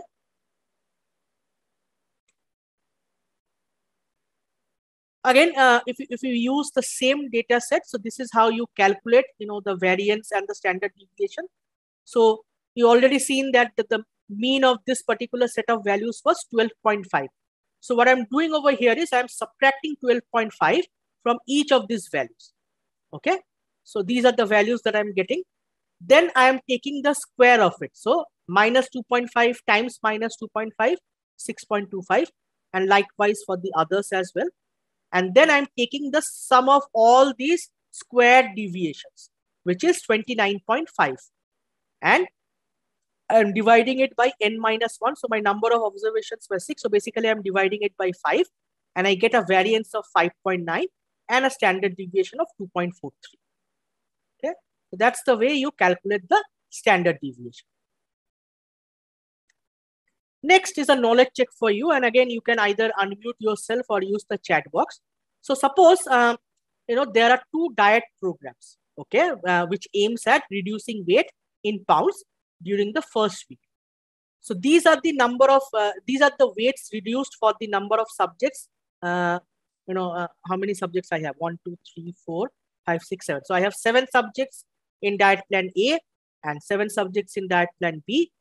Uh, these are the, you know, uh, weights uh, that the subjects have, uh, you know, reduced after a week uh, of enrolling in the different diet program. Now, just by looking at the data, you know, which group do you think has a smaller standard deviation? And the next question is that, you know, both the groups have a mean of seven. Uh, so now that you know that, which diet would you choose if you want to lose seven pounds? I'm already getting some answers. Plan B, plan B, second. Okay. Okay. So most of you are saying plan B, right? Why do you think plan B is better? Standard deviation is low. Okay. So as I said that for both the groups, the mean is seven, right? But if you look at the observations, you see that there are more variation. The data points are more and more scattered from that mean value. Whereas if you look into this particular data set, you see that the mean, that the individual values are more and more cluttered towards the mean value. Now, again, by the principle of EDA, if I plot this, now this becomes more evident right? So you see that I have more deviation of individual points from the mean, which is represented by this red dotted line for diet A versus diet B. So diet A actually has a standard deviation of 4.3, whereas diet B has a standard deviation of 1. So in order to get consistent result, I would probably enroll myself in diet B because of having a low variability from one subject to another. Okay, so that's how standard deviation helps us to identify whether how much variation is there in the data. Okay. Next is uh, spread or dispersion again, uh, you know, just the other measures. So this is called the coefficient of variation and the range. Okay. Range is more popularly used. Coefficient of variation is not that much, but still you'll see in multiple manuscripts, coefficient of variation is uh, represented. So what is this? So coefficient of variation is simply the ratio between the variation in the data by the mean. Okay. So it's the ratio of the standard deviation over the mean and you multiply it by 100 to express it in a percentage. Okay, so that's the coefficient of variation. Now, the higher the coefficient of variation, the greater level of dispersion around the mean. So if your coefficient of variation is high, that means your standard deviation of is high, right? Because that's in the numerator. So if this value is high, obviously the coefficient of variation will also be high. So if your data has more variability, that means your coefficient of variation will be high. Okay, and of course, if your standard deviation is low, that means that you, you are probably having a more precise estimate. Okay, and, and, and as I said, that it is generally expressed as a percentage. The range is simply, you know, the difference between the maximum and the minimum value. Now, again, if you see a wide difference in, uh, you know, between the maximum and the minimum value, that means your range will be high. So that will give you an indication that probably you have more extreme values on either side, higher and lower. So that will again give you an indication that probably you have uh, a huge amount of variability in the data. Whereas if the range is very small, that means that there is very less difference between the max and the minimum value. So that means that probably your values are more cluttered towards the mean. So that means you have less variability. So apart from the standard deviation, the coefficient of variation and the range both uh, can also help you to identify whether uh, there is variability and if there is, is variability, how much is that variability? Okay. Again, going back to this example, uh, you know, how uh, you can calculate. So, you know, you calculate the standard deviation of this, which was 2.43. We calculated the mean earlier, which was 12.5. So a coefficient of variation is 19.44%. And the range over here is the maximum minus the minimum value. So the maximum is 15, minimum is 10, the range is 5.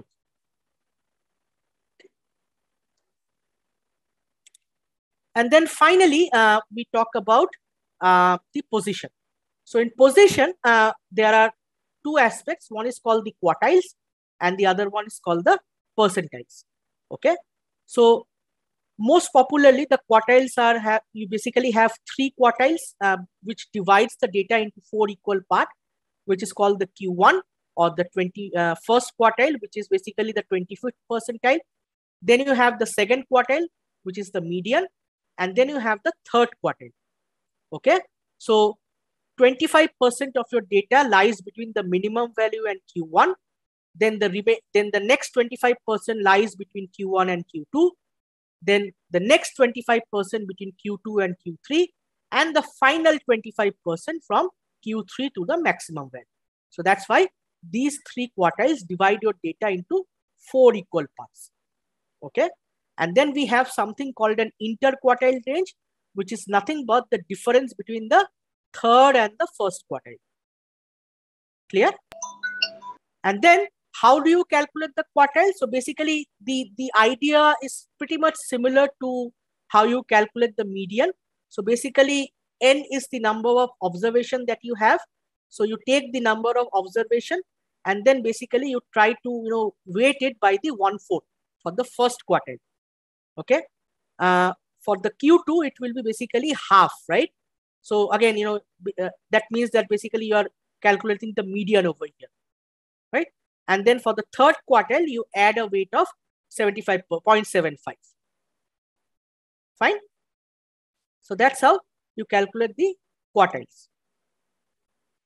And then the percentile. So, so the quartiles are basically a special case of the percentile because Q1 is basically the 25th percentile of the data. Q2 is 50th percentile of the data. So basically we say, right, that uh, you know below median 50% of the data falls. Why we say that? Because you know q2 it in itself is a measure of percentile as well. Okay? So these are the values below which a certain percentage of the data falls. Okay? So q1 is a special case of percentile. So q1 is the 25th percentile and q2 is the uh, q3 is the 75th percentile and median is the 50th percentile. Fine so over here, you are dividing your data into four equal parts. And over here, you're basically dividing your data into 100 uh, parts. Okay, so that's why, you know, you talk about, you know, what percentage of data falls below, you know, Q1 or Q2, whatever. 98th percentile, for example. So that means that 90% of the values are below uh, this, this particular observation. So we talked about the summary measures. Now, how do we uh, you know use the graphical measures okay? So the first one is the box plot or the box or whisker plot. So this is a very simple plot. All you need over here is the five point summary. So what is the five point summary? You need the minimum you need the maximum you need the median the first quartile and the third quartile. So imagine you know i have a trial of one uh, you know of 184 subjects and i have all these values being calculated from the data so this is about the age. Okay. And then I can use all these individual five data points to create the box plot. So it starts from the minimum. Okay. You have this line. This is called the whisker. And then you have the box over here. So the box starts from the first quartile. Uh, you define a thick line wherever the median falls. Then you have the box ending at the third quartile. And then you have the maximum. So this is one way of the box of, of you know uh, representation of the box plot there is another way where you know you it, it helps you to identify the outlier as well which looks like this. So instead of the traditional minimum and the traditional maximum, you take the interquartile range, multiply it by 1.5, and then add that to your third quartile. And similarly, you take the interquartile range, which is Q3 minus Q1, you multiply 1.5, and you subtract that from Q1. So from these two new points, the new minimum and maximum, your whisker starts. And beyond these two points, whatever value you might you might have, those are your outliers. So this is a very simple way by which you know you probably can detect that whether you have any outliers in your observation. Fine. This is a box plot.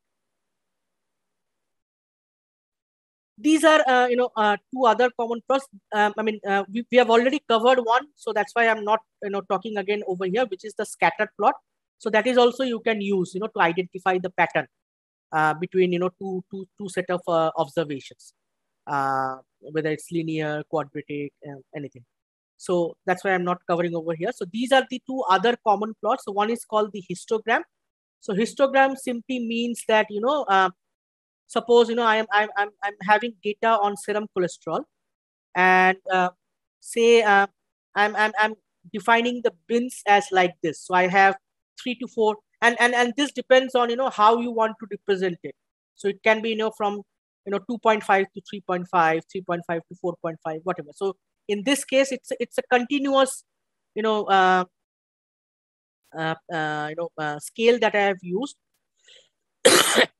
So, you know, three to four, or, you know, uh, say 3.5 to four, and then, you know, uh, uh, 4.1, uh, and then from 4 to 4.5, something like that.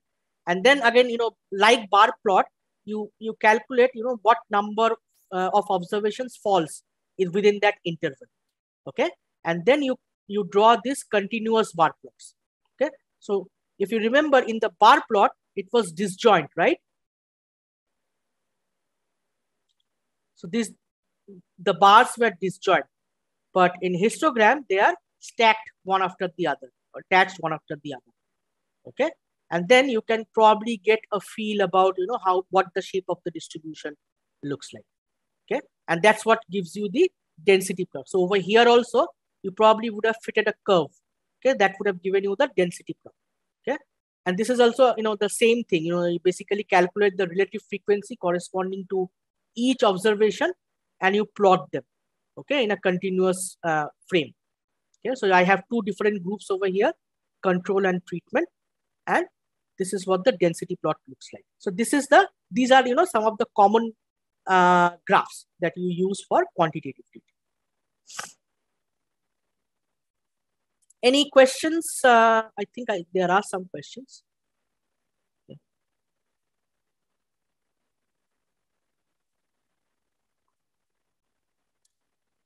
Okay, so the question one question was that why uh, n minus one. So this is uh, you know a, slightly you know uh, more technical topic uh, where we talk about you know unbiased estimator. So that's why we use the uh, n minus one. Okay, so uh, that's that's not you know in, in in scope for today's presentation, but but it's mostly related to the unbiasedness of the data of the estimates. Any other questions uh, corresponding to this uh, quantitative measures and uh, I mean, descriptive measures for qualitative and quantitative data as well as the plots?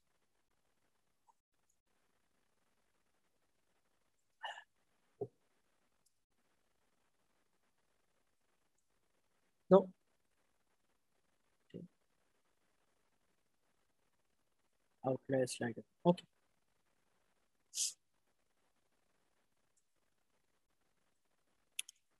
I guess this one, right? Okay. So what I'm doing over here is, uh, so let's go back to this example.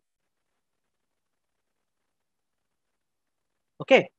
So you see over here, the median is 62, the Q1 is 53 and Q3 is 70. Okay.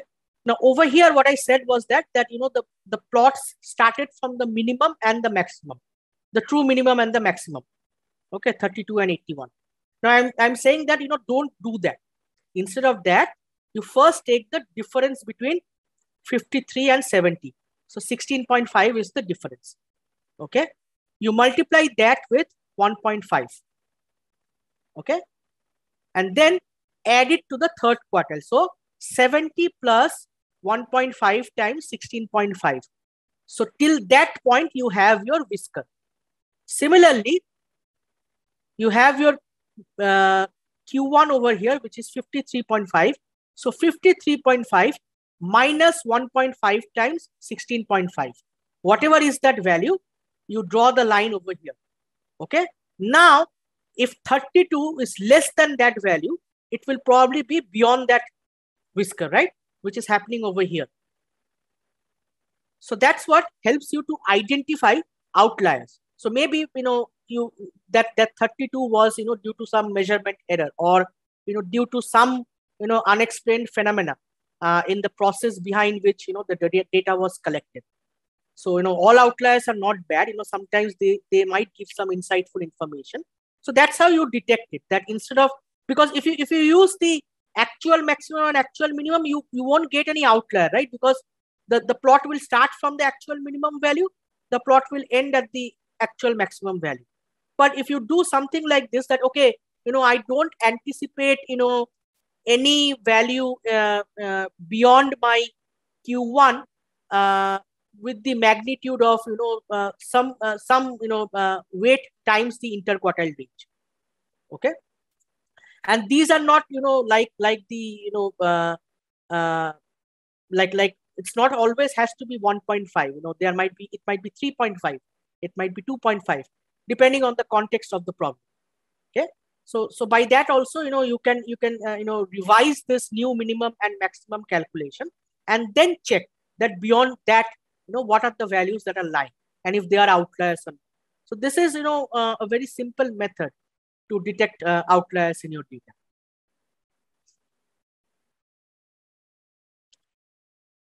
okay. any other questions uh, before we move on to the next topic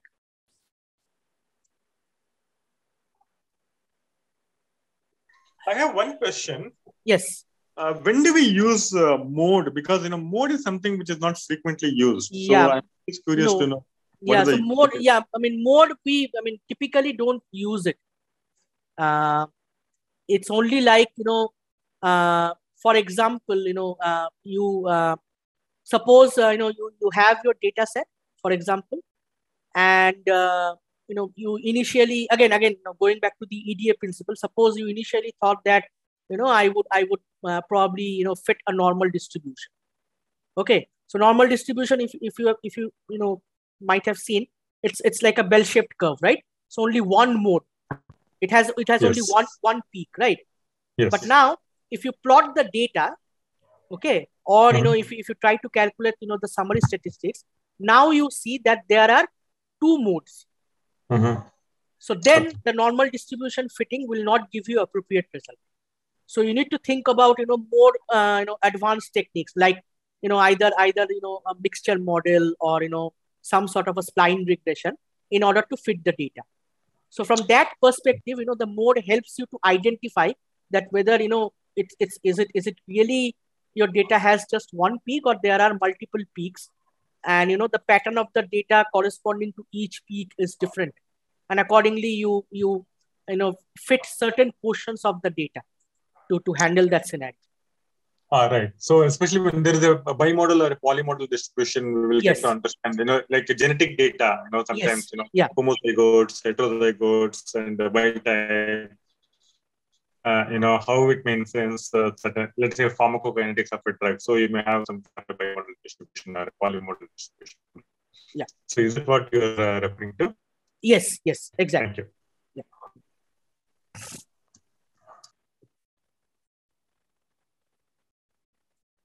I think I had another question. So 1.5 that I multiply. So so so so depends on you know how much you know uh, you know deviation you you kind of anticipate, right? As I said that you know uh, you know it doesn't has to be 1.5. it can be two. It can be three. Okay. So you know you, you know imagine you know if, if you have a huge data set and you know you you want to uh, figure out that you know uh, uh, you know maybe you know I, I'll, I'll look uh, and and you, know, you might have some information by by looking at the plot that you know there are few values which are too low. Uh, so so obviously you know you, you you will say that you know if I go twice uh, as as my uh, interquartile range uh, from from either side of the uh, Q1 and Q3 I I would expect you know uh, some some outliers so accordingly you you you modify it. So it's not like like the you know standard uh, it's it's the most commonly used. So that's why i've used this 1.5 but it can be 1.5 3 2 2.5 depending depending on the context. Okay. Any other questions? Okay. Shall we move on to the next uh, topic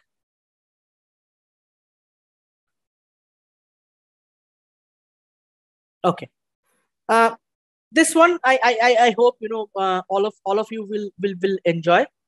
Uh, and again, you know, it's it's going back to the uh, you know, EDA EDA principle. So I'll I'll focus mostly on the some some good graphical principles, you know, that that we should uh, apply, uh, or why should avoid third pie charts. What do you mean by third or 3D pie charts? Okay, uh, there there will be an example towards the end of this uh, uh, end of today's presentation, where where I'll show that why why it's a menace. Okay, so uh, kindly kindly you know hold on, hold on to that question, Kalpita. Okay. Okay, so uh, before moving into that, you know, as you see or you might, you might have observed that you know in, in, in medical research data uh, apart from you know using the the you know the quantitative summary measures quality visualizations are, are becoming a very you know critical uh, aspect and, and and a very key component uh, by by which you know you you interpret your data. And with with you know now more advanced tools uh, and and softwares you know you are you are able to make more visually appealing as well as you know more uh, insightful uh, graphs uh, which probably were not possible few years back. So that's why, you know, even, you know, from the decision makers perspective or the regulatory agencies, they are also, you know, encouraging that you, you provide quality visualizations and they are becoming very critical, you know, in, in terms of appropriate presentation of the data. Okay. Now, why they are important? Because, you know, they are able to efficiently and effectively translate the key clinical messages. So rather than looking at, you know, you know, uh, two, three pages of tables, uh, which is also summary. if I just look at a, a, graph, maybe I'll be able to get that insight. Okay. So, you know, I'm, I'm spending less time. It is more visually appealing. And of course, you know, you know, you might have heard of this, of that famous wording, right? A picture says a thousand words. So that's why, you know, they are, they're, they're now, you know, playing a very critical role in order to translate, you know, very key, very key important clinical messages in the data. Now, in order for a graph to be effective, uh, first of all, it has to be easy for the EDA audience to understand and decode. Okay, so you know, some if, if some layman is looking at it, so they, they must be able to understand that what what what is the story that you're trying to tell. You know, you might you might make a very complex graph uh, using very advanced tools, but you know, if you're not able to gather any information from that, then it's it's meaningless to do that. So it should be easy for the audience as well. Okay. And uh, you know, if you look at you know the current medical research publications or even regulatory sub- submissions, you'll see that you know there is still a room for improvement uh, on well-designed graphs uh, for using them as powerful communication vehicles. Now, I don't know if you know this particular gentleman, uh, a very underrated statistician, in my opinion. So this is uh, Edward Rolf uh, Tufte. Okay, so he is an American statistician and uh, professor uh, of political science, statistics, and computer science at Yale University. And uh, he's particularly, you know, noted for his writings on information design, and considered as a pioneer uh, in the field of data visualization. So, you know, I earlier I mentioned about you know going through you know some of the seminal works of John Tukey uh, I would also echo similar uh, you know sentiments for uh, Dr. Edward as well. That you know if you have time, you know you can go go through his websites, his published work. Uh, they're they're really amazing and you know very very you know simple to start off with, and it, it will really blow your mind in terms of you know how well designed graphs are very useful. So he he he he also stressed on the fact that you know of all methods for analyzing and communicating statistical information, well-designed graphics are usually the simplest and at the same time the most powerful. Okay. Now, which graph is most appropriate? You know, I I, I gave you, you know, several examples that you know for qualitative data you can use a bar plot, you can use a pie chart, you can use a dot plot. Uh, for quantitative data, you can use histogram, uh, box plot, density plot. Now, which graph is most appropriate? Now, it depends on the distribution detail level. So, for example, if you have, you know, summary level data. So, if, if you follow this particular two-sided arrow, if I'm moving towards right, I am mostly talking about summary data. If I am moving towards left, I am talking about raw data or more granular data. Okay. So if I'm moving towards the right, so I'm talking mostly about low level of detail. So if you're interested in low level of detail, so mostly in, you know, summarizing the data or, you know, communicating a very concise message. So then, you know, you can utilize the mean, median, IQR, 95% CI, etc. And then, you know, in that case, you know, you can use a bar plot, uh, you can use a dot plot, you can use a forest plot, okay, because those are all based on summary data you see box plot is you know somewhere over here. So you know it uses summary level data but you know probably it, it provides slightly more information or you probably need slightly more information rather than just the summaries in order to uh, explain the data pattern. So you have box plot over here. Now if you move more towards the fine granularity so then you have to rely on cumulative distribution plot you know, in survival, we use the Kaplan-Meier. Then you have, you know, the density plots, the QQ plots, the violin plot, which we will cover. So these are all, you know, working with the raw data, the individual data points. Okay. So over here, you have more higher level of detail. Uh, these are more granular. And these are, you know, mostly used for, you know, analysis and exploration. So if your goal is to use summary data and you, and you just want to provide or you just want to get some concise information, then you can, you know, lie in this particular zone. However, if you want to, you know, do further analysis or exploration and you're dealing with raw data, then the suggestion is that you use plots which are in, in, in this particular uh, region. Okay, so that's why, you know, which graph you want to use, it is important depending on, you know, how much detail uh, you want to go into. Okay, now in terms of the qualitative data, uh, you know, again, you, you see over here that, you know, for, for pie chart, you know, it is not recommended. It is, you know, mostly it is avoided. So if you have, you know, one level of interest or more than one level of interest, you know, stick, stick with the bar plot, okay? Or the dot plot, okay? Or, you know, if, if you have, you know, different groups, you can, you know, compare them in a single chart okay to to to, to get some more insight. Okay.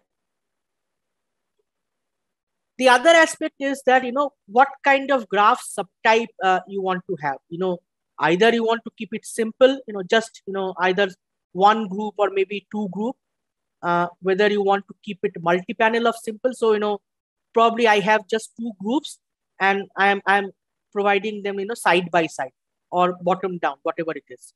Okay and then you have you know grouped or multi-panel or grouped.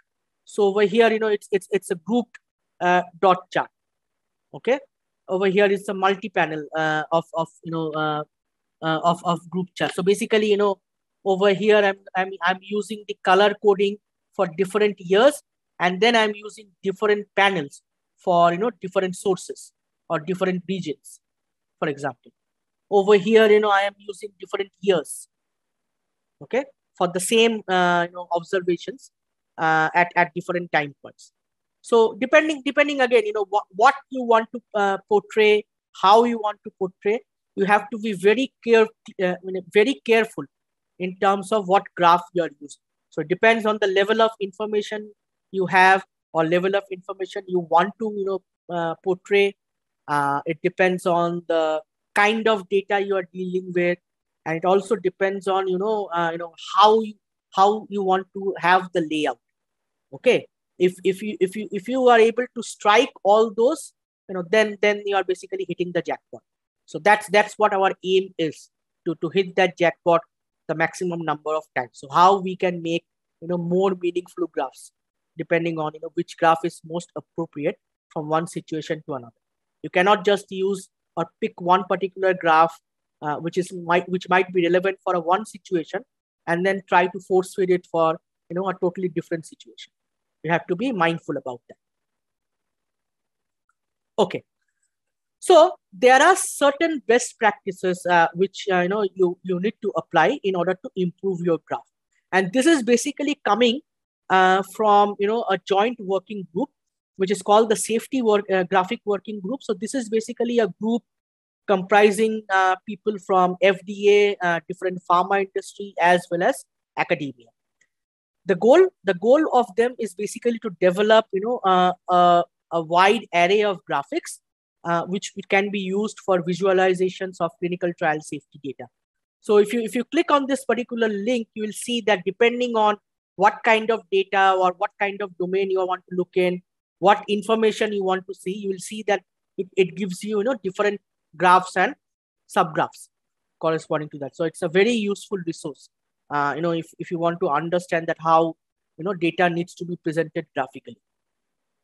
Okay and then their goal was to you know make a publicly available repository of sample graphics which is you know this this this particular page okay and uh, the, the broader goal was you know to educate and engage stakeholders through outreach activities so from time to time you know they they have you know a common uh, uh, you know uh, meeting or you know they, they conduct workshops across you know different regulatory agencies or you know different companies or you know different institutions in order to educate more about the, the, the, proper use of graphical principles.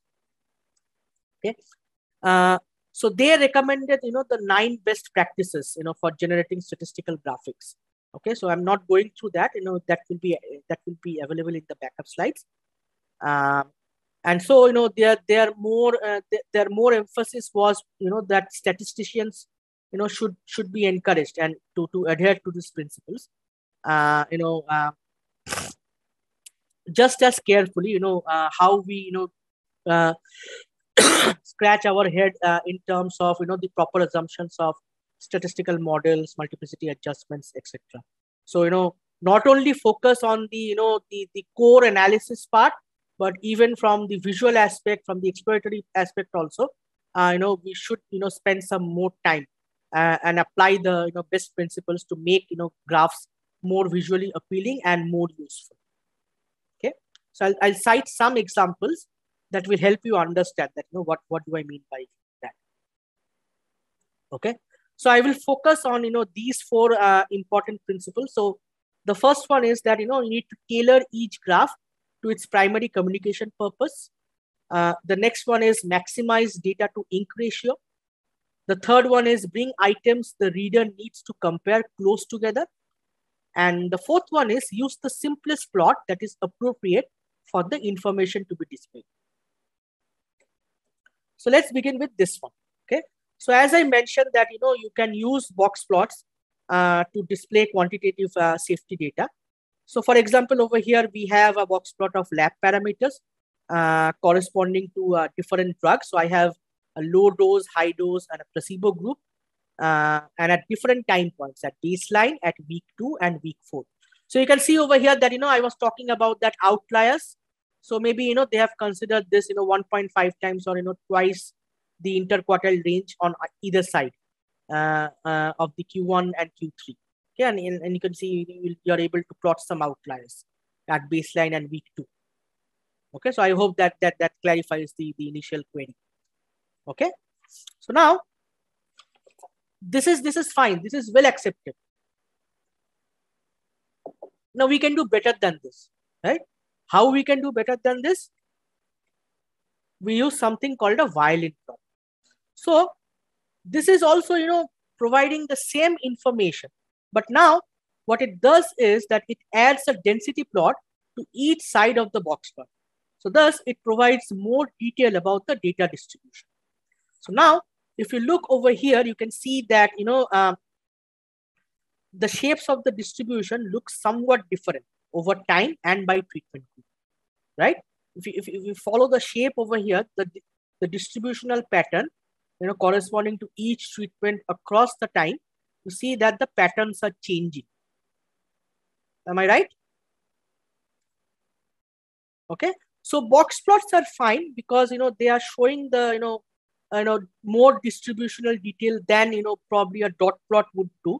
But now, you know, the higher level of detail that the violin plot is giving, you know, this allows the reader to assess the distributional shapes which are not captured by the simple summary statistics. Okay. So this is, you know, you know, if you can, you can tailor your, you know, already, you know, existing good graph uh, to, you know, enhance uh, the, the, the communication. So you can have a box plot, but you know you can enhance it by using a violin plot that probably adds you know more detail to the communication. So that's one example. The next one is about maximizing the data to ink ratio and bring items you know the reader needs to compare or you know uh, closer together.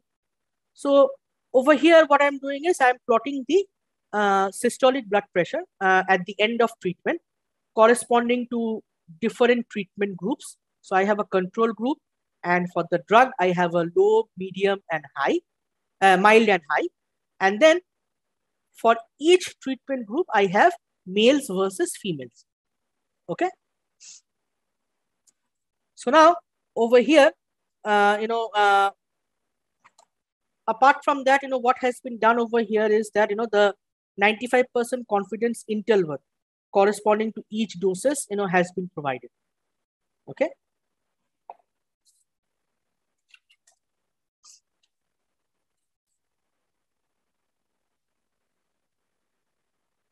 now this is a very common way you know by which you know data are graphed uh, by the use of bar plot uh, you know with an error bar on top okay as well as the sample size so this 48 52 51 56 so these are basically the sample size above the error bar Okay. Now, the problem with this is that, you know, this creates an optical illusion, you know, by, by creating this at, you know, visual addition to the actual data value itself, which is basically the height of the bar, right? So over here, the height of the bar represents the mean, but there is no additional information, you know, apart from, you know, that is inherent in the bar itself, other than this, you know, single numerical value. So, you know, I am unnecessarily spending here, you know, excess ink. You know, I have some unnecessary information here. It's, it's, it, it, it, it, it gives me an illusion, you know, is this 48 the mean or is this 48, you know, the sample size? There is no clarity over here. Okay, so this is basically, you know, misuse of resources, I would say. So instead of that, you see, this one is so much minimalistic, but at the same time, it is providing the same information in a very quick and clearer way. So now again, I have, you know, uh, the different groups which are color coded differently, uh, control and, and, and, you know, three different uh, drug levels. I have the males and females, and I'm just providing their mean along with their 95% confidence center. Okay. And over here, you know, I'm also presenting their sample sizes. So, so now, you know, the things are more clearer. I'm, I'm defining that this is the n. Okay. This is the, this is the, uh, you know, uh, values. Okay. At, at, at uh, you know, uh, baseline corresponding to each of these uh, groups. And then whatever happens at the end of treatment, I'm plotting them. Okay. And then I have, you know, a mean difference, you know, difference from the control. So for the drug high, what is the difference with the control group? For this particular dose, what is the difference from the control group? For this one, what is the difference in the control group? So you see, I have less, I have spent so much less ink over here. Now, you know, every information is so much meaningful. Every information is so much easily deciphered. So someone looking at this plot versus this plot, you know, they would they would probably prefer this one. You because you know it, it, it, it is visually more you know appealing in terms of providing the right amount of information. So that's what I mean by you know maximizing the data to ink ratio. Let's look at the third example. So how you can use graphs that augment traditional methods of displaying data. So this is a very standard, you know, uh, adverse event table, right? So you have, you know, number of subjects uh, with an adverse event, a number of subjects with a severe adverse event, and then, you know, uh, you, you further categorize them with the uh, system organ class or preferred term. Okay, that's fine. That's, that is, you know, acceptable uh, across different uh, health regulators. But can you add further to it? We can by doing something like this. So this is basically, you know, a time to event visualization of common adverse events. So not only I am able to provide, you know, the number of subjects with a particular adverse event, I am also providing, you know, the, you know, journey of each subject. So, you know, what, what was, you know, uh, at, at what time points, you know, the, the, the, the event occurred, whether it was consistent across different groups. Okay. If, if one particular uh, adverse event, you know, happened at a later time point versus the other, okay? So all this information you know i am able to uh, provide visually. So traditional method is fine but you know if you are able to augment that traditional method you know there is no harm in doing. And this is one way of you know uh, doing that. Now i'll talk about some innovative graphs. Okay? Uh, can you tell me you know what what this is this is not noodles by the way it's an Italian dish. Spaghetti. Spaghetti, right. So why I'm showing this? Because you might have seen uh, plots like this, right? Which are called spaghetti plots. So basically, you know, these are, you know, time plots of, you know, each individual subject corresponding to a particular variable. So in, in, in, in this case, it is HbA1c. Uh, I have two different treatment arms and I'm I'm plotting, you know, for each. So each line represents each subject, how, how the values have changed over time. Now, for less number of observations, suppose, you know, I have five or 10, this is fine because, you know, I'll be able to understand, you know, what is the pattern in terms of, you know, HbA1c increasing or decreasing over time between the two treatment groups. If I have 75 subjects, you know, now if I have 100 subjects in each arm, I'm hardly able to, you know, visualize in any particular trend, right? It's all, you know, uh, entangled over here. So no clear trend or pattern is observed in this kind of spaghetti plots. So now we have something like this. Can you tell me what this is called? This is also an Italian dish.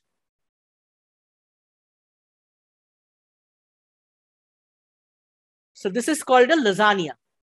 Okay? And it looks like this. So all i am doing over here is that for each treatment arm you know again i i have the month over here and i have the value. So i'm i'm so so imagine that you know corresponding to each period i'll have a rectangle. Okay? And i'm color coding it. And then i'm stacking it one after the other. Okay so if, if i just focus on this particular part so maybe this is one subject uh, who was diabetic, uh, you know, at, at visit zero.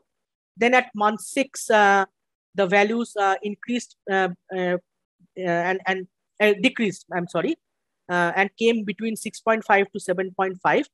Then again, you know, it remained increased for a long time uh, between 7.6 to 8.5 and then again it got reduced okay?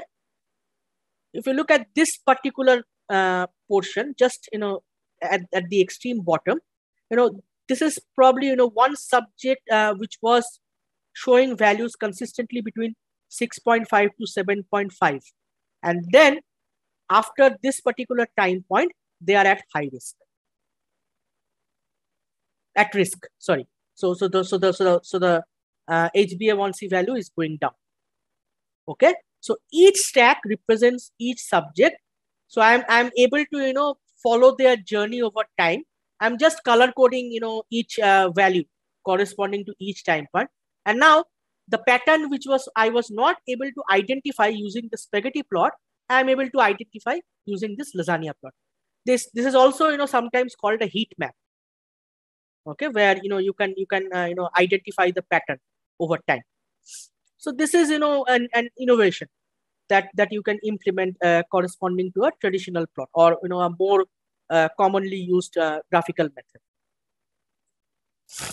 Imagine you you have a data set like this. So suppose you know you have subject uh, you have the visit then you have the change you know so so change from baseline uh, you know corresponding to say you know uh, tumor size or you know any any any any kind of response and then you know you, you have the uh, you know categorization of that change so is it a complete response is it a progressive disease partial response etc okay so typically people would do a bar plot in this case, but you know there are further innovations uh, over the bar plot. So you can think something like this, which is called a spider plot.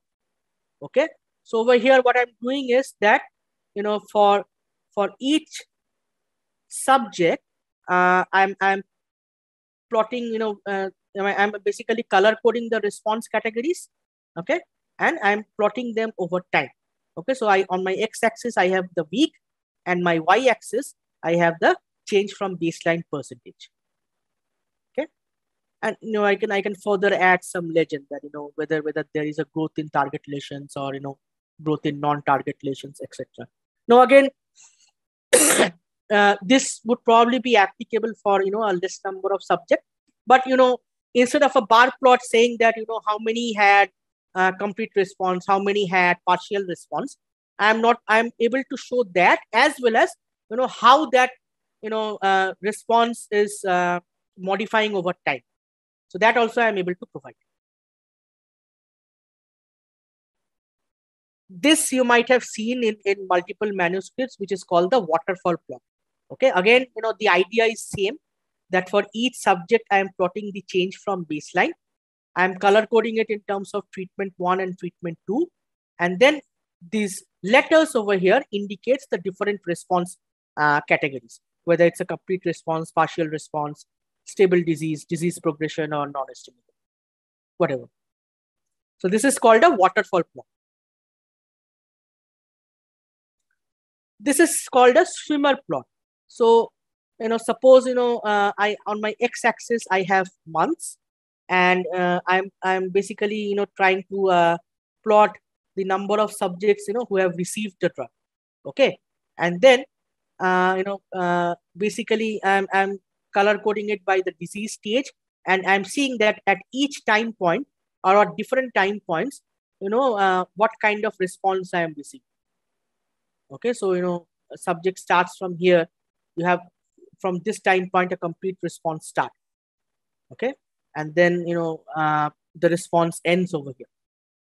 Okay? So this is so this is someone who is at a stage one. Okay? So this is also something you know you can you can add uh, you know corresponding to a bar plot. So each bar over here represents uh, one subject in the study. Okay? So i'm again you know able to understand you know how the disease is progressing or getting better over time this is another you know uh, modification of the bar plot uh, or the bar chart which is called the butterfly plot. So over here you know i'm i'm just plotting the cholesterol level counts by gender. Okay?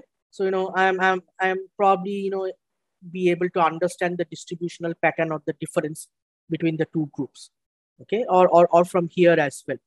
You know i'm, I'm plotting the best overall response corresponding to each subject in previous therapy versus current therapy. Okay, so bar plot, bar plot can can also might provide you with the same information, but you know these are you know, visually more appealing and intuitive in, in some way or the other. Okay. This one, you know, suppose you know you have treatment emergent adverse events, right? So you have two different groups, and you're you're you're uh, you know summarizing the different adverse events, the counts. Okay. So you can have something like this, okay, which is which is called the funnel plot. Okay, so over here, you know, each of these symbols indicate different adverse event. And what I'm doing is basically, you know, I'm, I'm plotting, you know, the, the, the percentage of subjects uh, corresponding to uh, each. Okay. And then I'm calculating the odds ratio. So I have this data. So from these data, I'm calculating the odds ratio corresponding to each adverse event category and I'm plotting it. Okay. So basically, you know, if, if I see more values over here, so that means that, you know, for these adverse events, you know, it is more favoring the placebo. Whereas if I lie on this particular zone, it means that, you know, it, it favors the treatment. Okay. So the odds ratio plot. So this is this is called a funnel plot. So this is you know now widely used uh, in, in, in, in clinical trials as well as in publications. So you might have something like this, but you know this is providing uh, more insights in terms of understanding that you know probably which adverse events are occurring more in the placebo group versus the treatment group. This is another uh, you know uh, new uh, uh, plot uh, which is called a tree map. So over here, all you are doing is that you know you you create rectangles and sub rectangles where the rectangles, you know, the, the first rectangle, the big rectangles, which are basically in terms of the standard of care. So you have SOC1, SOC2, SOC3.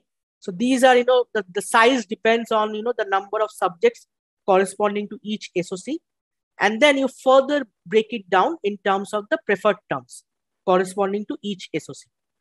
Okay. So this will give you, you know, just at glance rather than looking at a big table, you know, which SOCs are more frequently occurring and within each SOCs, which preferred terms are more frequently occurring. Okay, so so so just you know, uh, it, it it it augments and you know uh, makes you know more visual help uh, to to identify any patterns in your data. This is another innovation. So you know this is something what we called an uh, you know interactive plot. So uh, this this is you know the, the screenshot, how it looks like. I've also added a reference. So if you, if you click on this, you will find multiple examples of interactive chart, but let me show you an example that, that we did.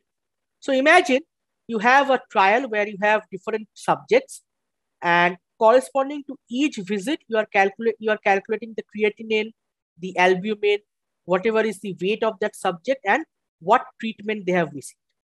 Okay, now imagine, you know, for, for hundreds and thousands of subjects, you know, if you look at the listing or even at the summary, you know, it will take some time to identify, you know, how, how the changes are happening over time from one visit to another.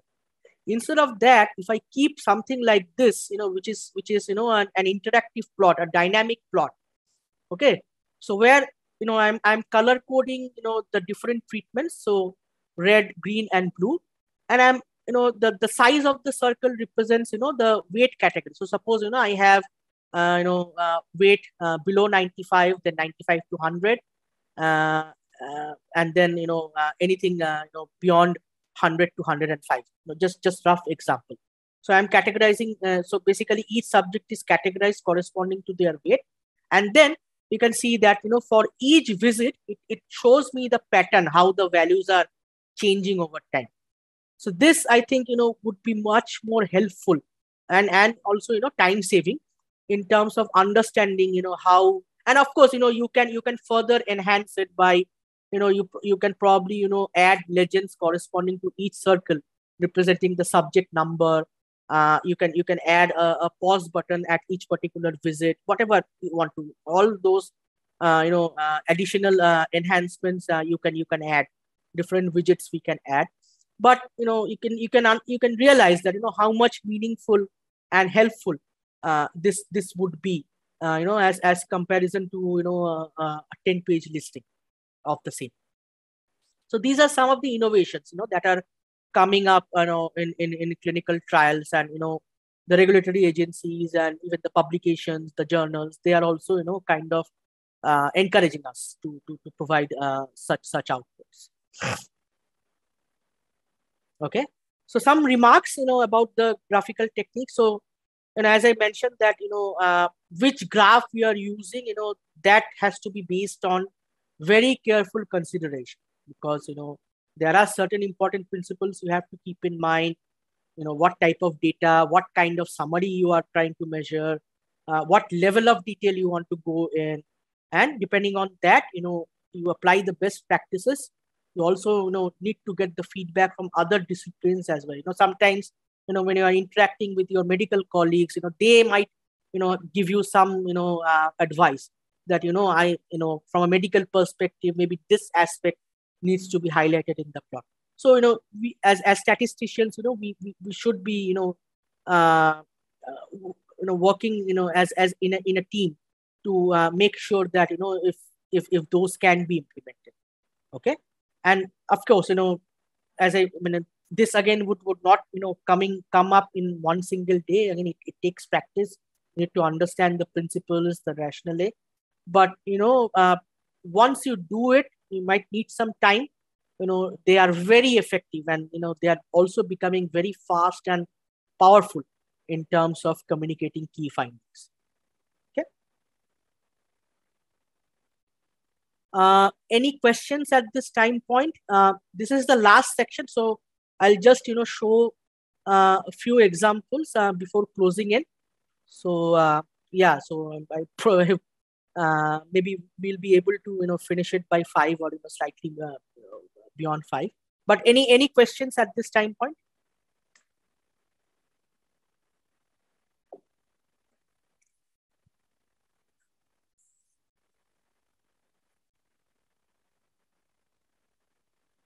I'm yet to answer this question, right? That why 3D pie chart should be avoided. So that will be answered in this section.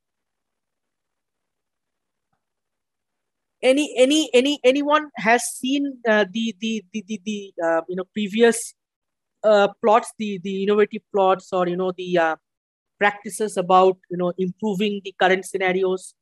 Anyone has any you know practical experience or real life experience? Or or or, or was it you know totally new for for all of you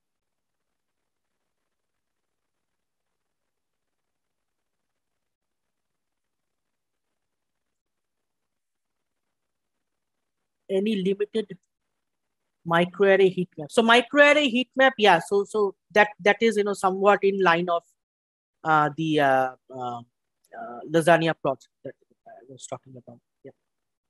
Any limited number of subjects for waterfall plot. So there is no you know uh, limitation, but you know if you if you look at the plot itself, uh, yeah. So you know for a for a phase two trial, uh, uh, you know probably that that would still be fine you know for because you know uh, given given you have less number of subjects and and eventually you know since you're uh, if, if you just have you know only two two groups or even just you know, you know only one group you know, basically you know this particular part will expand right so you will have more expansion on on on the horizontal axis so i think you know for a for a phase two uh, it, it will still be you know fine phase three you know if you move you know go into you know like 500 600 subject maybe then you know uh, it might become a bit cumbersome.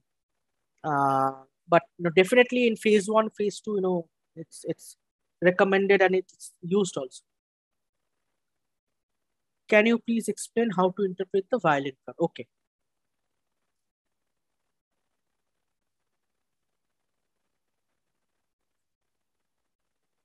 Okay so a violin plot is, is just, you know, an extension of the box plot. So, you know, uh, over here also, you know, I'll be able to, uh, uh, you know, see whatever is the Q1, Q3, median, all thing.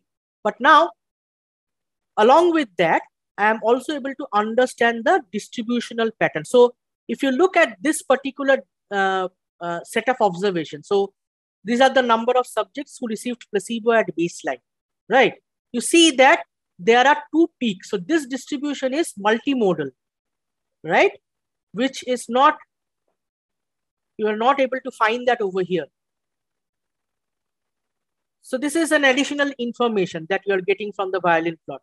It's just the same thing, right? It's just, you know, a mirror image uh, of one another, just to, you know, uh, you're doing it on either side to, to make it look like a violin. So you can even, you know, think about you know, just uh, putting a finger on one side to, to understand what the distribution looks like. Okay. If you look at this one, you know, this one is in a fairly bell shape, right?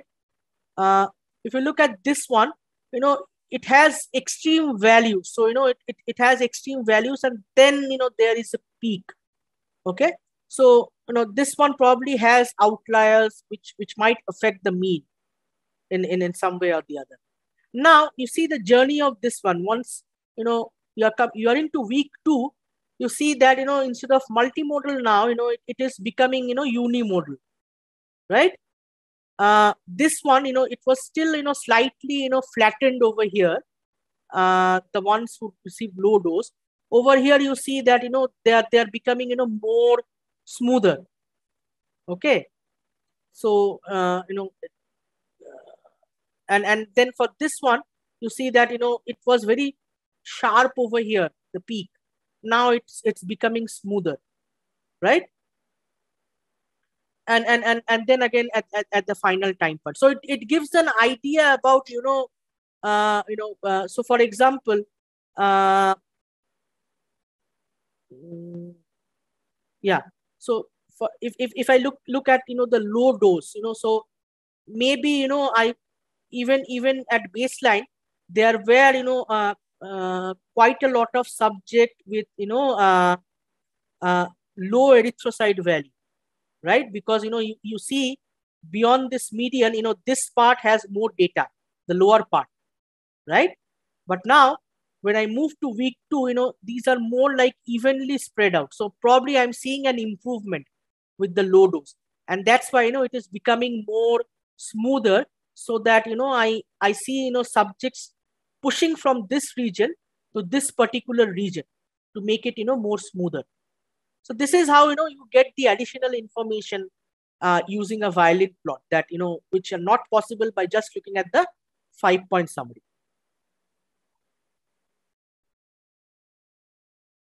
How can P be on both sides of waterfall plot? Okay. Okay, you're, you're, you're talking about these P's, right?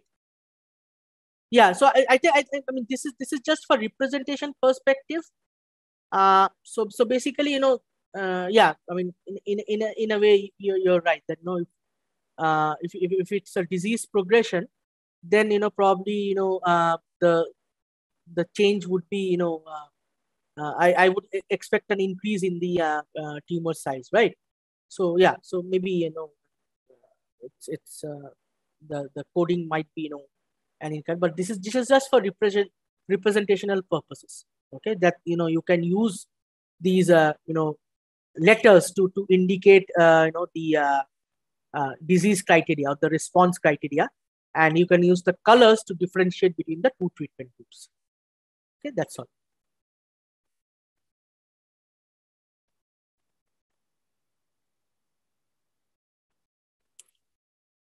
does it affect study as well in the violin shape?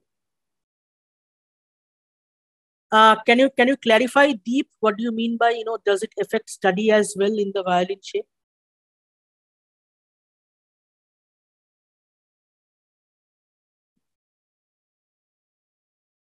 Maybe you can unmute and uh, in week two placebo has also responded well does it affect study as well in the violin shape? Uh, again you know these are just for representational purposes okay? You know these are these are not you know real life uh, study examples so as to speak okay? Now i'm not sure what you what you mean by affect the study but you know if if, if you are probably seeing you know similar uh, you know uh, improvements using a placebo versus a low dose so maybe you know the low dose is not as effective uh, in in terms of you know improving the uh, uh, this this this particular parameter. So so so so that might be you know uh, an and and uh, interpretation that that you can do.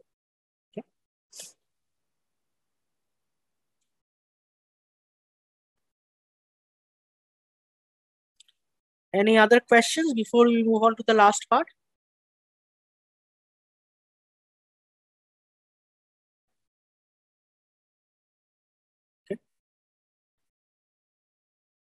There is one question.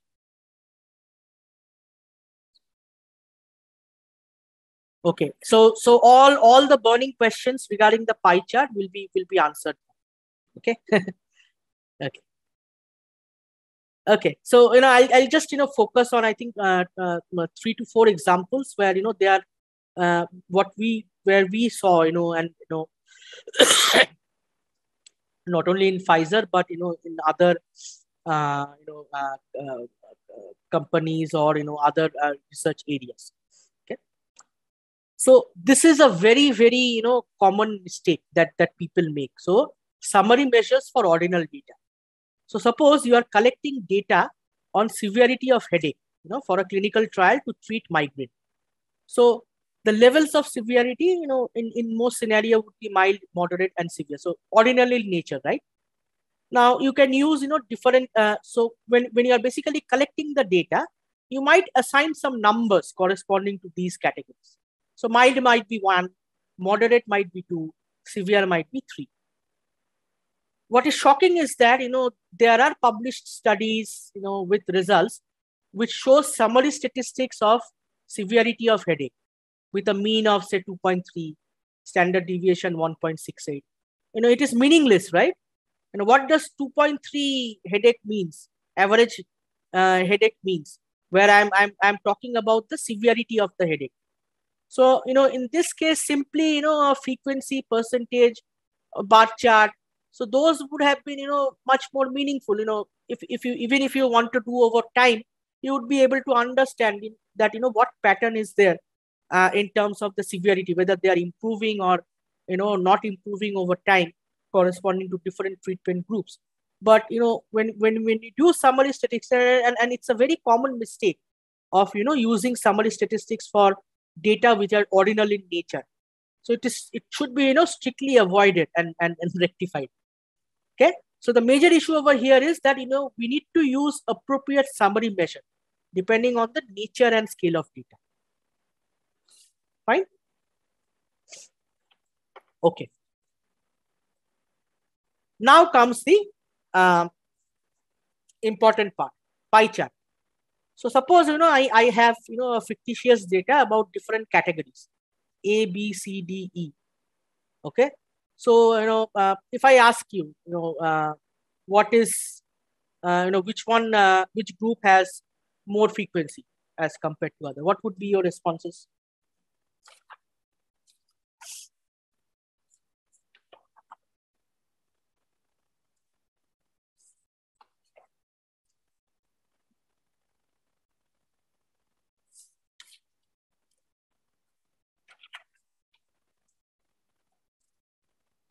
Seeing some response. So saying C. Okay. So uh, majority agrees that C is more. A and C are equal. Okay. What about F? No.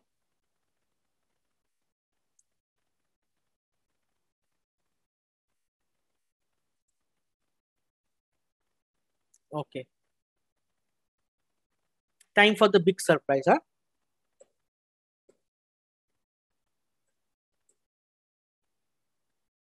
So this is what the actual data is, looks like. Okay. So A actually had, uh, you know, the uh, mo most uh, frequent counts. Okay, followed by C, F, B, okay, and uh, there was you know d as well which is you know slightly uh, you know uh, uh, more than zero. But you know it's not visible over here right? So that's what i mean by the misleading visual perception that uh, a 3d pie chart gives. That you know uh, you're, you're not able to gauge you know which one has the major area which category so in most cases, if you are able to avoid it, just avoid it. Instead of that, use a dot plot or a bar chart. That's much more helpful. Okay. Okay.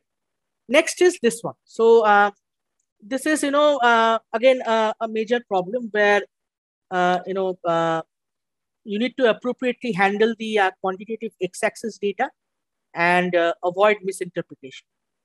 So if you look at the data, okay, so this is basically, you know, talking about uh eye redness. So distribution of eye redness, uh, so eye irritation uh, over time uh, and uh, I have you know uh, week one, week two, week four, week six, week eight, and then the endpoint. And then I have you know for each time point, I have three different treatment groups. Can you can you can you uh, help me uh, with with uh, a major flaw over here? Which which one do you think? 2D pie is better. It is better uh, spider plot. No, I'm talking about this particular example. What what what is you know a, a, a major flaw over here?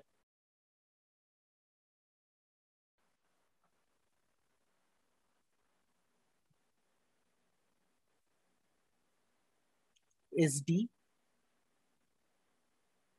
Comparison values are different. Okay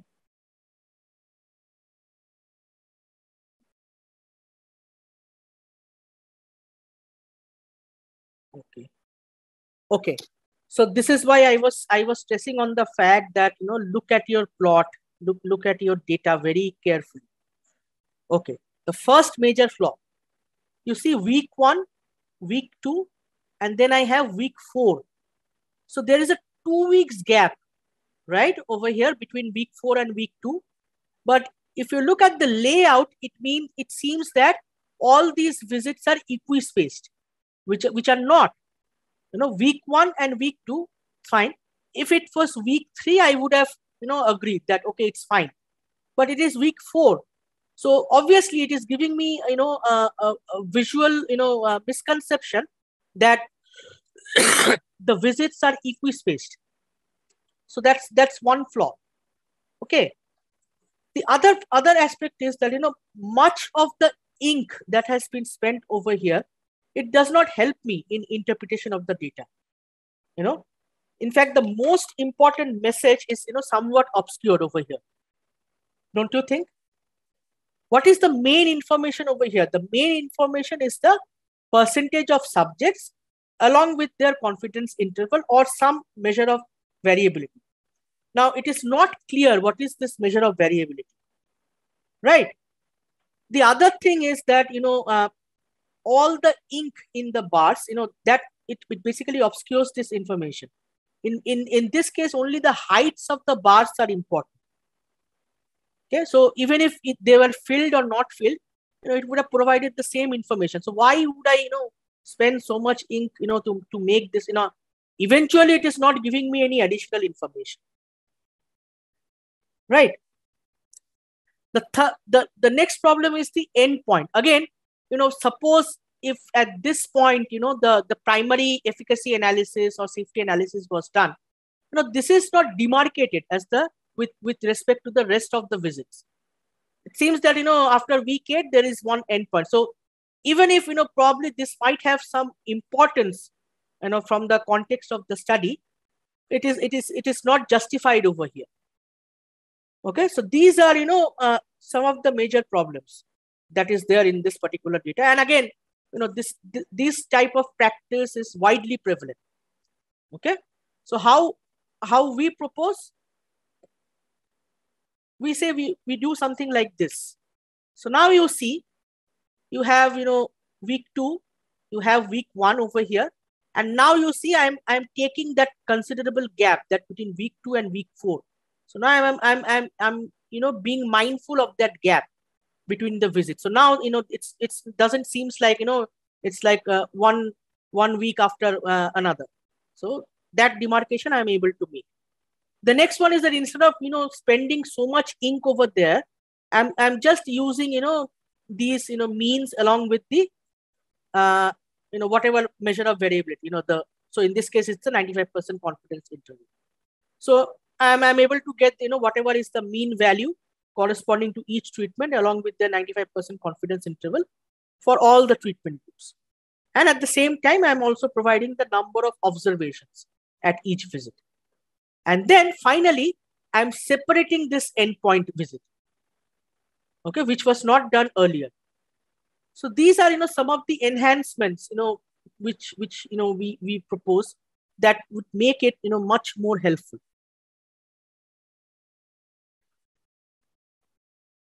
And this is the final one, you know, again, you know, with some, you know, advanced graphical techniques, you might, you know, provide something like this. So, you know, maybe in context to some, uh, you know, parameter, you're comparing the treatment and the control, but, you know, you need, what, what is this doing? Okay, so, so you need to avoid, uh, you know, display as little information as possible so you know it is providing so many information you know what but you know at the end you know what is what is this? It's not adding anything, right? I mean, why not, you know, just, you know, treatment control, I, I provide the percentage. Why I would, you know, spend so much time in doing this, you know, 3D kind of a plot where eventually I'm not able to understand anything from this.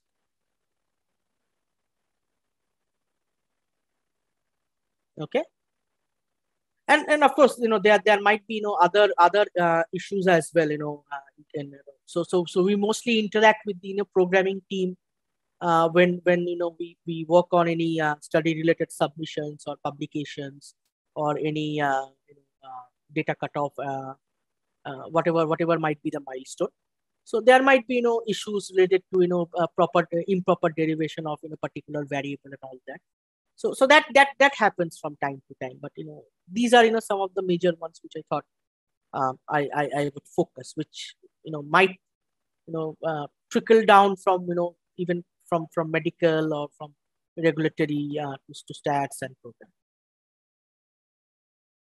so that's all my, for my uh, presentation. Um, i would be happy to uh, take in any further questions